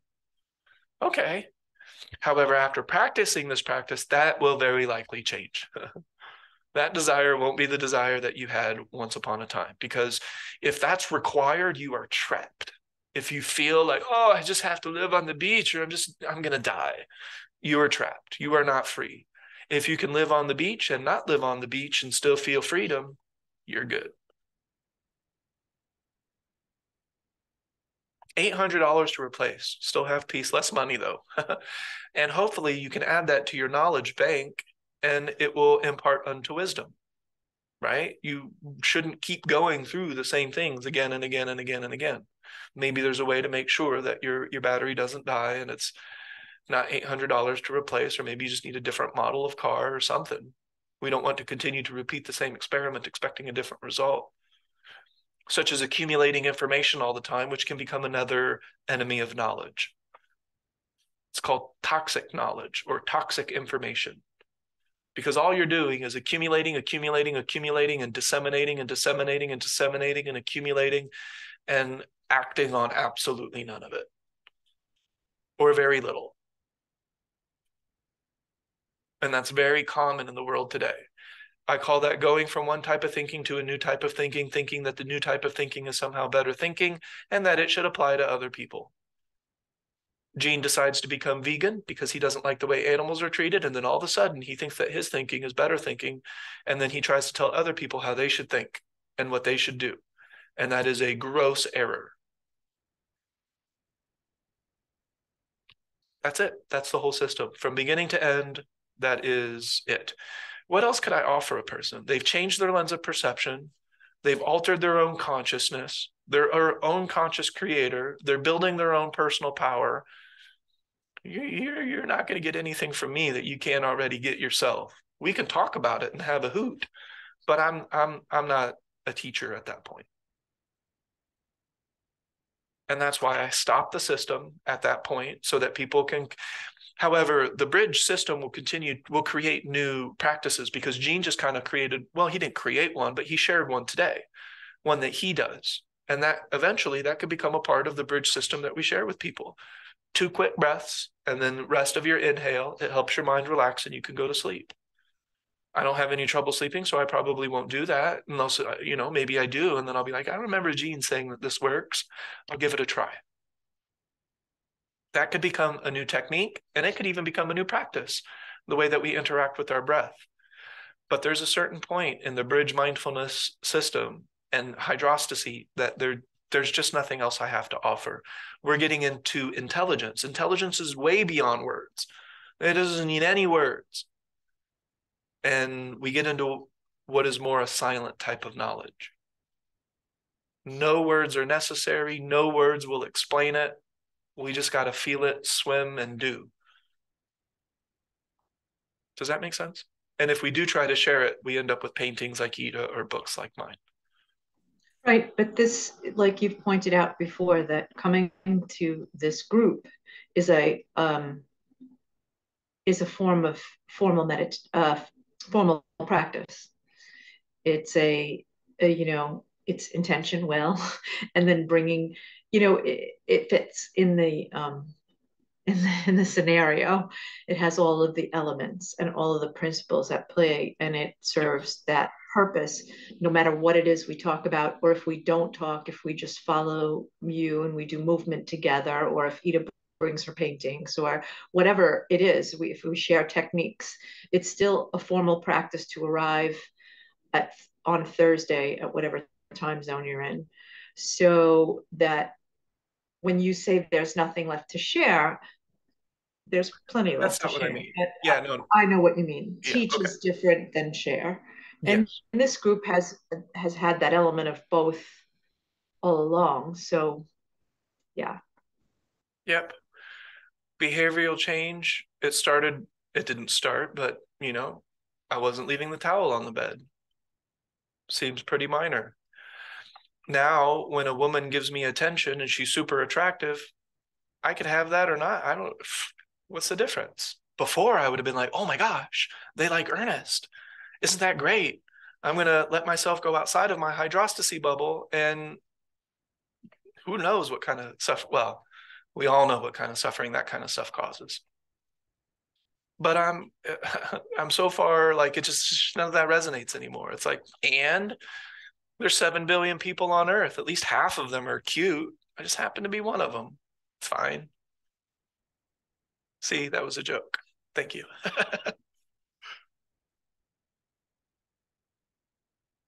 so one other aspect of hydrostacy that I glossed over a little bit quickly was what Donna just mentioned, and that's the formal practice.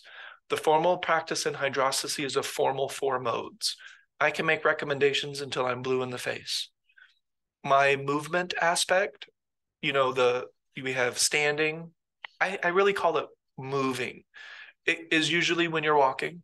That's a perfect opportunity to informally practice, but you can also go fox walk you want to do it in a particular way at a particular time to go watch the sunrise, that could actually be a very formal type of movement practice. I do recommend things that involve more complex movement. I think that will be very beneficial for the physical body, more so than just walking. But I do agree that walking, fox walking, is a formal practice if you if you do it that way, right? Walking from the house to the car, that's informal and that's okay too. We have both because it's it's embodying both at this point in hydrostacy. When I do Tai Chi, when I do yoga, when I do these things, that the Qigong movements, that's my movement part of my formal practice. Exactly. Yeah. That's the that's the formal part. I love to sit down and meditate now. Dr. John, I did it at the at the clinic the other day. She sat on the chair, did her full lotus, and she's like, "You do it too." I sat down on the ground in the middle of the workday, and we did a three minute meditation, and I had absolutely no thoughts whatsoever, not one. It's desirable now. I'm not trying to to just oh I'm going to clear my mind, so I'm going to try to meditate in this weird. It's just such a weird thing. It's like now everybody thinks they need to do this. And and sometimes I was showing Shana, when you put your arms in weird positions that aren't proportional to your body, you end up doing this. And now I'm meditating and my knees are up to my ears. That's fine, you know, but that might not be for your body. Your hand placement could be proportional to your body. And then also people who are doing this with their arm, you're not going to do that for long because you're cutting off the blood isn't going to flow well to your hands. So you're doing this for a picture. It's a photo op. You're not doing that for 20 minutes a day. Stop. So the standing meditation, I do a formal standing meditation. I make it really simple. You can do just the golden line, you can do Zhan Zhuang, but it's time in hydrostacy to add formal practice. Remember in the beginning, I don't do that. I don't touch on any of that stuff in the beginning. I don't want to talk about behavior. I don't want to talk in the very beginning. I don't even want to talk about interacting with thought. That's not the place for it in the very beginning. But eventually we start to interact with thought. Eventually we start to interact with behavior. Eventually we start to interact with the enemies of knowledge to make sure that we're not hustling ourselves and zigging when we should be zagging, etc. And then this is a complete mindfulness and evolution of consciousness system. Any questions?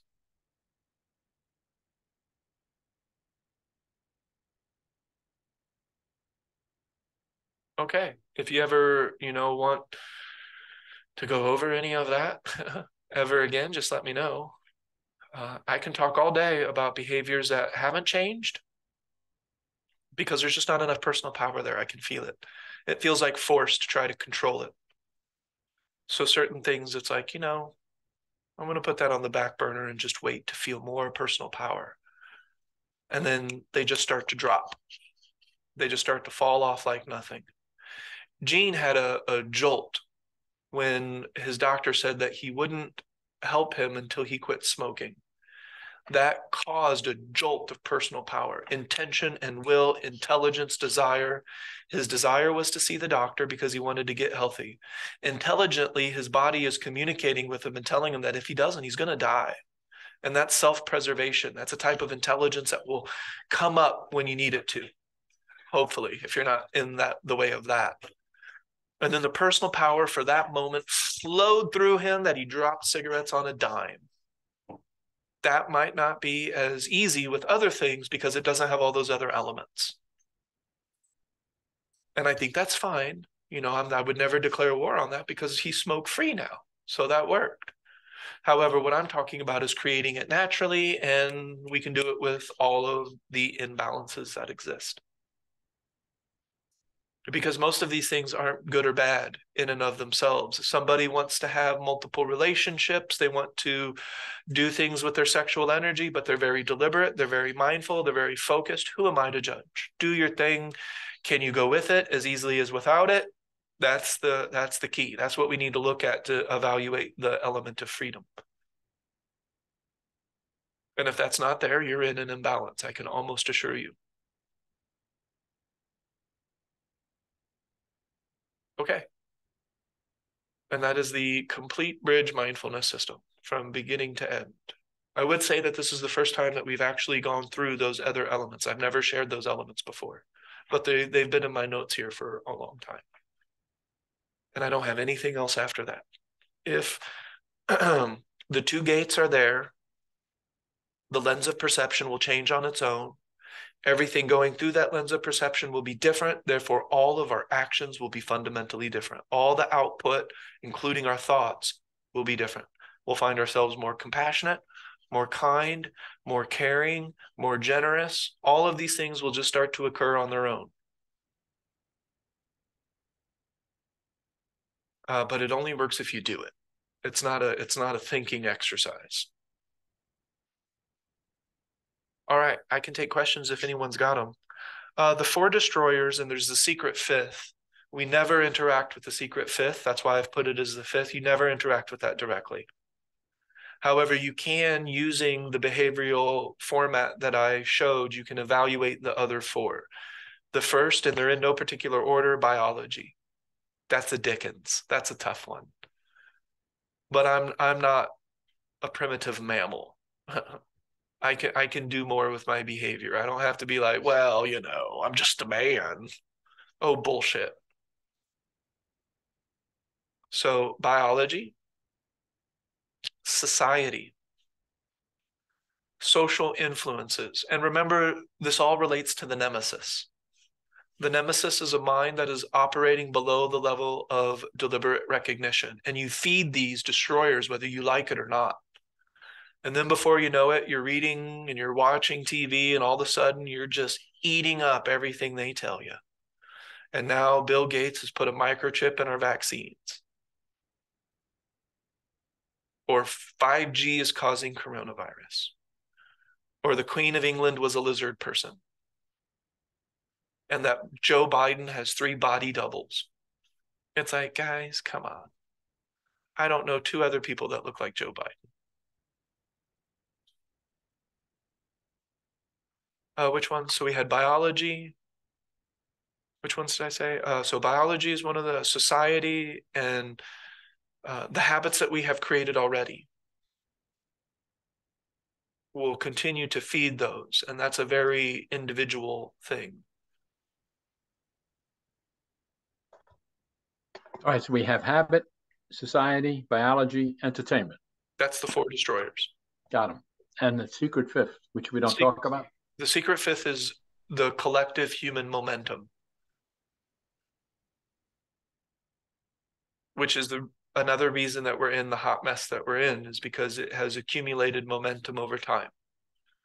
And it is the fifth destroyer that will destroy the human species if left unchecked. And the only way to dissolve the destroyers is to address the nemesis. The way that we address the nemesis is by operating above the level of recognition, called deliberate attention.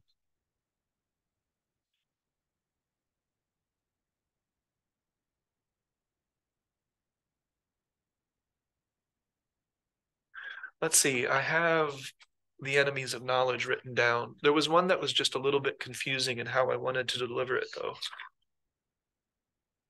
Let me see where I got it. I got files and notes and notebooks and this is what Donna's going to do someday is organize all this shit for me.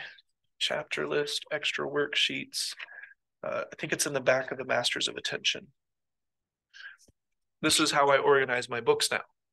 I have chapter sheets. I organize the thoughts.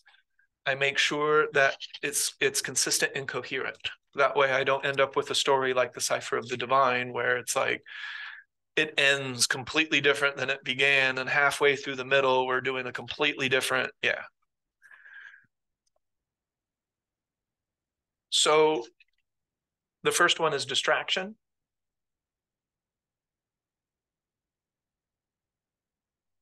Distraction is an enemy of knowledge. You cannot pay attention to the present moment if you're distracted, and that's where we learn. With cognitive attention training, sensory attention training, behavioral attention training, we learn from the present moment, not the therapist who wants to take us back into the past. So the distracted mind isn't paying attention to the lessons. The best it can do is recollect and learn in a lag. Does that make sense? and I don't mean this the way that people in the new like you're the world's so distracted you don't see what they're doing.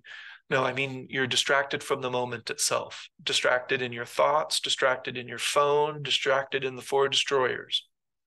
Does that make sense? Distraction is an enemy of knowledge. It's very difficult to gain personal experience, learn from personal experience, accumulate new information when you're just completely distracted. It can be done to a certain extent, but it's always a delay. You'll have to learn after the fact. Does that make sense? So enemy, it's an enemy of presence, which is also an enemy of knowledge. Yeah, yeah. because if you're not present, it's your personal not... experience because you're not exactly. Yeah. yeah, or even information. You can miss so much information because you're not paying attention. You could have literally just told me the most profound thing ever. The, that one sentence that just makes everything, and I wasn't listening. I was too busy in my own thought, looking at my phone, wondering when the hell you're going to shut up. You, I was distracted. Of course, number two is ignorance. You have no knowledge. That's the opposite of, of, of knowledge is ignorance. And that's a person who's just stopped learning. Yeah, that's icky. Number three is information. Information itself can become toxic and it can become an enemy of knowledge because it is out of balance. You have so much information, it's not really lending to personal experience if there's balance, then that implies that you have information and personal experience, and that creates the three parts of knowledge. Right, like coming to class, learning the system, taking a bunch of notes, and never practicing. Bingo. You've accumulated a bunch of information, but it's not worth shit unless you're actually doing it because you're getting no personal experience from it. And then you can't even relate to the experience of others because you don't have any of your own from which to draw conclusions or absolutely. Um, and this is kind of a spoiler because i do talk about all of these in my book. Oh i have one other thing. Oh no there's one other aspect to hydrostacy and i'll talk about that in a second then. Since i'm just finishing uh, since i'm delivering all this anyway i'll just finish it. We have it as long as you're here uh, number four is personal power this is tricky but in as we start to accumulate personal power in the beginning, if there's no balance and we're not doing it in the way that I have recommended, then our own personal power can become an enemy of knowledge. I'll give you an example, and it's kind of a shitty example on my part. But in about 2015, I was doing a lot of intention and will. And, you know, some females started to show me uh, interest. They're like, oh, Ernest, personal power. And I was untethered. I was all over the place. I was directing that personal power in a way that was feeding the four destroyers. Does that make sense? So, our own personal power, if we're not careful, can become an enemy to knowledge. And the fifth one, and this one's a doozy fear. I'm talking about psychological fear too, by the way, uh, imbalanced fear. Uh, Gene, if a bear breaks through your window right now, I recommend fear. I recommend fight or flight. In fact, I recommend flight. Unless you've been working out and you're just ready to fight a bear, uh, I recommend flight. oh, that's when the pressing of the 300 pounds and having strong glutes comes in your favor. There you go. There you, you never knew when you were going to need to suppress a bear better to be ready than not. And I'm going to ask a person the next time I, and when it gets springtime and everybody starts wearing their short shorts and they all have these like perfectly sculpted glutes, and we're like, you're preparing for a bear. I know it. Uh, and then the sixth enemy of knowledge is the one that we just can't avoid, as far as I know, and that's death.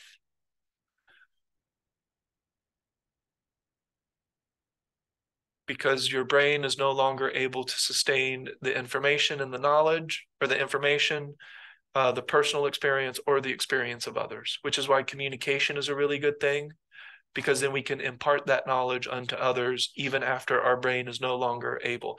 Uh, I'm not getting you. I'm not following. How, what death? Death is a enemy of knowledge because you're dead? Yes. and then also because we fear it.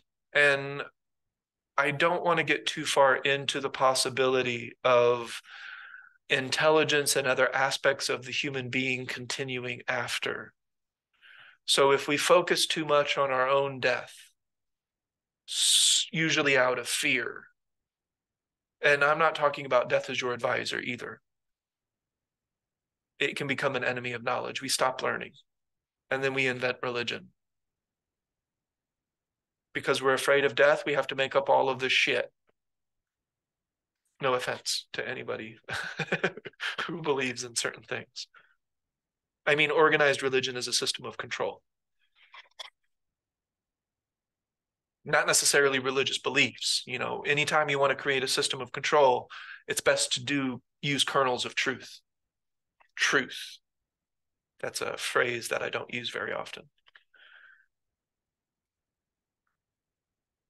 And the more you think about it, the more you're going to stumble. So this is something that you, with the other aspects of hydrostacy, you'll be able to feel. And when death is no longer your enemy, you can learn so much more about life. And it usually stems from fear. So you can't touch on death until you've learned to interact with your own psychological fears. And again, fear, plus nor minus, up nor down, good nor bad. I'm not like, we must have no fear because I think you're full of shit if you say that. it's just another thing that people do when they go from one type of thinking to another type of thinking, thinking that the new thinking is better thinking. They'll come up with all kinds of bullshit. No ego, no fear, no suffering. I'm to punch you in the mouth when you say that. Now let me know if you're suffering. It hurts, huh? Uh, and then we have the virtues of human cognition.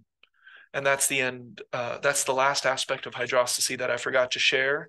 Actually, I shared it in the beginning. Imagination is one of those. Um, and these, you know, you guys maybe can add some, but we have music, humor, imagination, memory, the way that we can interact with our memory and remember things in vivid detail, I, am probably missing a couple because they're written down somewhere else, but those beautiful aspects of human cognition that we can embrace. Even communication at times can be a wonderful thing that human beings can do. And the more that we're in that hydrostatic circle, or what I call the hydrostatic effect, the more this all just naturally starts to occur. Creativity. We, we just start to embrace these things so much more. And then how can you be bored? The birds are playing music. The wind is playing music. I am a highly creative individual. There's no boredom there. I don't I don't need, you know, war video games to feel something. What's the title of this you're calling them? Uh, I, I was kind of calling them the virtues of human cognition, I, but I don't like the word virtues. So I would just say that these are the attributes of the evolution of consciousness so far. I would assume the more that we do this, we'll add to those virtues of of co- cognition. It's a it, I, I can't imagine them right now though. Uh, it could look a lot like extrasensory perception and things like that, our ability to perceive in different ways. I do believe that that's possible because why did we find a flower beautiful in the first place? You know, Gene is trying to protect the tribe from bears. He didn't need to find the sunset beautiful to do that. So I view that as an indication of the evolution of consciousness. And as I discussed in the first essential teaching, because I have 20 essential teachings, the first essential teaching, I kind of discussed that. I know that's a new thing, but I've organized it. Uh, but the 20 essential teachings that one of the ones that we talked about was, you know, why do we find a flower beautiful? Because when the human being got to the top of the food chain, the physical aspect was less important because we could build houses. We could build, we could change the environment to suit the human being. We could farm, we could hunt, we could do these things. And so we didn't need to worry about our physical survival. So the human body, you know, is evolving differently as a result of the evolution of consciousness. So dolphins, when they get to the top of the food chain and they swim around for a few million years, the mind has the opportunity to evolve even more. Does that make sense? Yeah. And then who knows? Maybe one day we'll be walking around like dolphins with echolocation, you know, communicating with different aspects of the universe around us. Already do that, but I don't. I just, I just think it's below the level of of of uh, cognition. Hmm. Yeah, that's it.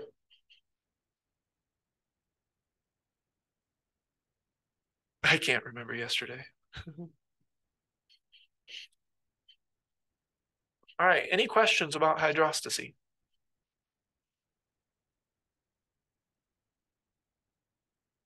That is pretty much the whole hydrostatic practice. Uh, the the root of it, the practice of it, is the four directions and the four modes the four modes being embodied and formal. It's time to do some formal practices in hydrostacy. It won't feel like, if it feels like force, it's not time. Let your personal power accumulate. You'll feel when it's time. All of a sudden, you'll be sitting there and you're like, like damn, I really just want to sit down with a straight back and meditate. It feels really good. As opposed to, I need to meditate because I'm in a terrible mental state. Any questions, comments, concerns? That will all be delivered in my creative writing as well. So uh, right now, I no, I'm not going to foreshadow that. I want that to be a part of the surprise of the book. But I'm working on the Masters of Attention right now. This one. And I look at the word mastery in a different way because mastery was a word that I don't like the way that it's used most often. But the word mastery is neither good nor bad, plus nor minus, up nor down. I don't like the way that it's used when it's power over someone. Uh, that's how it would be used in the slavery context. I won't say Gene can have a seat at the master's table. Mm, where did that come from? And I don't say master bedroom anymore.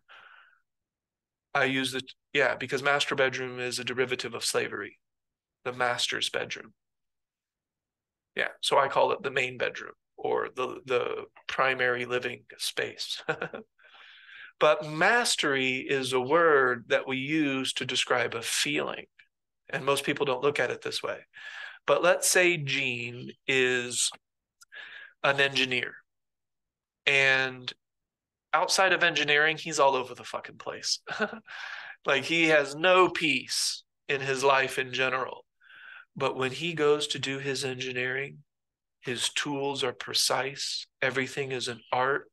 He's totally focused, he's locked in. That's mastery. He has, and it doesn't mean that there's no learning and that he's better than everybody. He has entered a state of mastery. You can feel it. Bob was giving me a massage, and I hope Bob watches this. This is a compliment. I didn't really care for the massage because I didn't need it. And I felt like somebody rolled me down a hill gently again and again and again. And I'm like, my whole body is like oddly not that sore, but sore. I didn't really care for that effect. But his hands, the way that he directed his hands, sometimes he would go so slow, so slight. And I knew that I was feeling the master's touch. He had mastered technique and it was in his practice and what he was doing. When I touched hands with a certain push hands practitioner, I knew that I was sensing mastery. It's a feeling of, of a very high level of deliberate attention, will, and everything else. When you're with me and we're doing the practice, you will sense mastery. Now that does that mean that I'm no, that that's what people use the word erroneously. And it is comparing and contrasting and labeling and judging and better than, worse than. That's not how I'm looking at it. I'm looking at mastery as a feeling. Does that make sense? And the and the mastery as a feeling comes from intention, will, and desire overlapping. Just do. And do with and precision and accuracy. And an accumulation of that. Absolutely. Yes. It didn't just happen overnight. It happened because of practice and, and the accumulation principle. And every single one of us can be a master of attention. Uh, however, are you doing it right now? If the answer is no, there is no mastery. If there are you is, practicing mastering your attention, or, well, it, not? exactly. Well, if you're practicing, you are learning to master attention. Right. You're practicing mastering your yes. attention. Yes. Uh, I would be careful about wording it that way to other people, though, because then they would look at it as the comparing and the contrasting. And I have mastered. Yeah. but in the context of the way that we're using it, if your desire is to do your practice, your intention is to do your practice, and you have the personal power necessary to maintain your practice, there is mastery. And typically it's other people who will say it, not you, because they feel it from you. It's not something necessarily that you feel within yourself. I feel that from other people. And so when other people start saying you're a master of attention, then maybe it's there. because Gene isn't thinking about being a master of the engineering when he's doing it. He's focused. There's intention and will and personal power, no mastery like that's not that's not a, a concept that is but somebody else watching it they can feel the master's touch that's how i'm using the word and i'll describe that in the book. Soul makes that distinction because i'm confused about that in the book. I'm like well isn't this a contradiction? It can be if we're if we're contradicting ourselves. All right. Any questions comments concerns before we head out? All right, I will upload this. There is a Facebook page called the Weekly Mindfulness Group.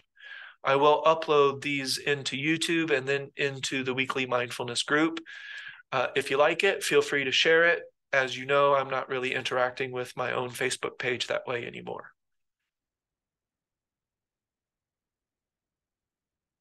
All right. Well, I will see everybody again on Tuesday as we dive into the second essential teaching and I'm not going to say my own name because that sounds weird. But I have broken it down into seven cores, 20 essential teachings. And then those essential teachings, when we break it down even further, becomes the bridge mindfulness practice. Easy. And the first or the second two layers of the bridge mindfulness practice is the transcendental embodiment approach. We haven't embodied anything in fundamental mindfulness, fundamental training. So that's not really a part of T. And hydrostacy is its own thing. So that's not really a part of T either. But T is the requirement for hydrostacy. They stack like Legos on top of one another. And I do believe that in some ways we have shared some of the most profound things that we could share as human beings inside of this two hours and 11 minutes, 13 minutes. And I'll share it on Facebook and it'll get two or three likes. That's just the way it goes. All right. Well, I will see you guys again on Tuesday if you can make it. Uh, the questions and the comments that you send me throughout the week is what fueled today's uh, I didn't come with these because Ernest wants to talk about this shit. I had some people ask about the destroyers. Gene and I started talking earlier about, you know, how do we interact with our practice when we feel physically unwell? So sometimes I'll take the questions that people ask me throughout the week and I'm like, well, now wait a second. I don't want to answer this all in Messenger when I can make it a part of the group study that other people can benefit from.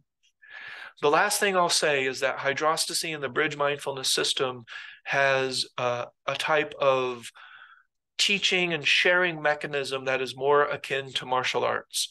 Uh, Donna, Gene, everybody here who's practicing, and embodying your practice, we can talk about it, but I will certify you to share this system. The only thing that you need to do is to share it share it with other people so that they can benefit from it too. How do you want to do that? I don't fucking care. you know, if Donna wants to do classes and book studies, that's good. If Gene doesn't want to do anything at all except for when people ask him questions, right on. And do you have to be, you know, mastering every aspect of the practice? No. You know, I think that there's four layers and based on those four layers, I think that you're perfectly capable and qualified to share certain aspects. I've given Donna absolutely she can share the first three aspects. And the more we talk about hydrostacy she's probably going to be able to share hydrostacy as well if she if if, if she chooses to but i'd like to give permission. Uh, lisa you've been doing this since the dawn of the the beginning of the practice. You can describe the fundamental practice and counterbalance as good as anybody probably. For example uh, we would need to talk about it a little bit. I would like to do a one-on-one just so we can make sure uh, that we're on the same page. But uh, I am going to uh, give these certificates to those who are interested in sharing. And I'm probably going to give you one whether you like it or not. And then you can do whatever you want with it. Okay, I will see you guys later. I'll post this up to YouTube today and then post it to the Facebook page that is the weekly mindfulness study. Um, mindfulness is probably a word I'm going to slowly start to phase out because it's getting icky. All right, well, I will see you guys again soon on Tuesday. All right, bye everyone. See ya.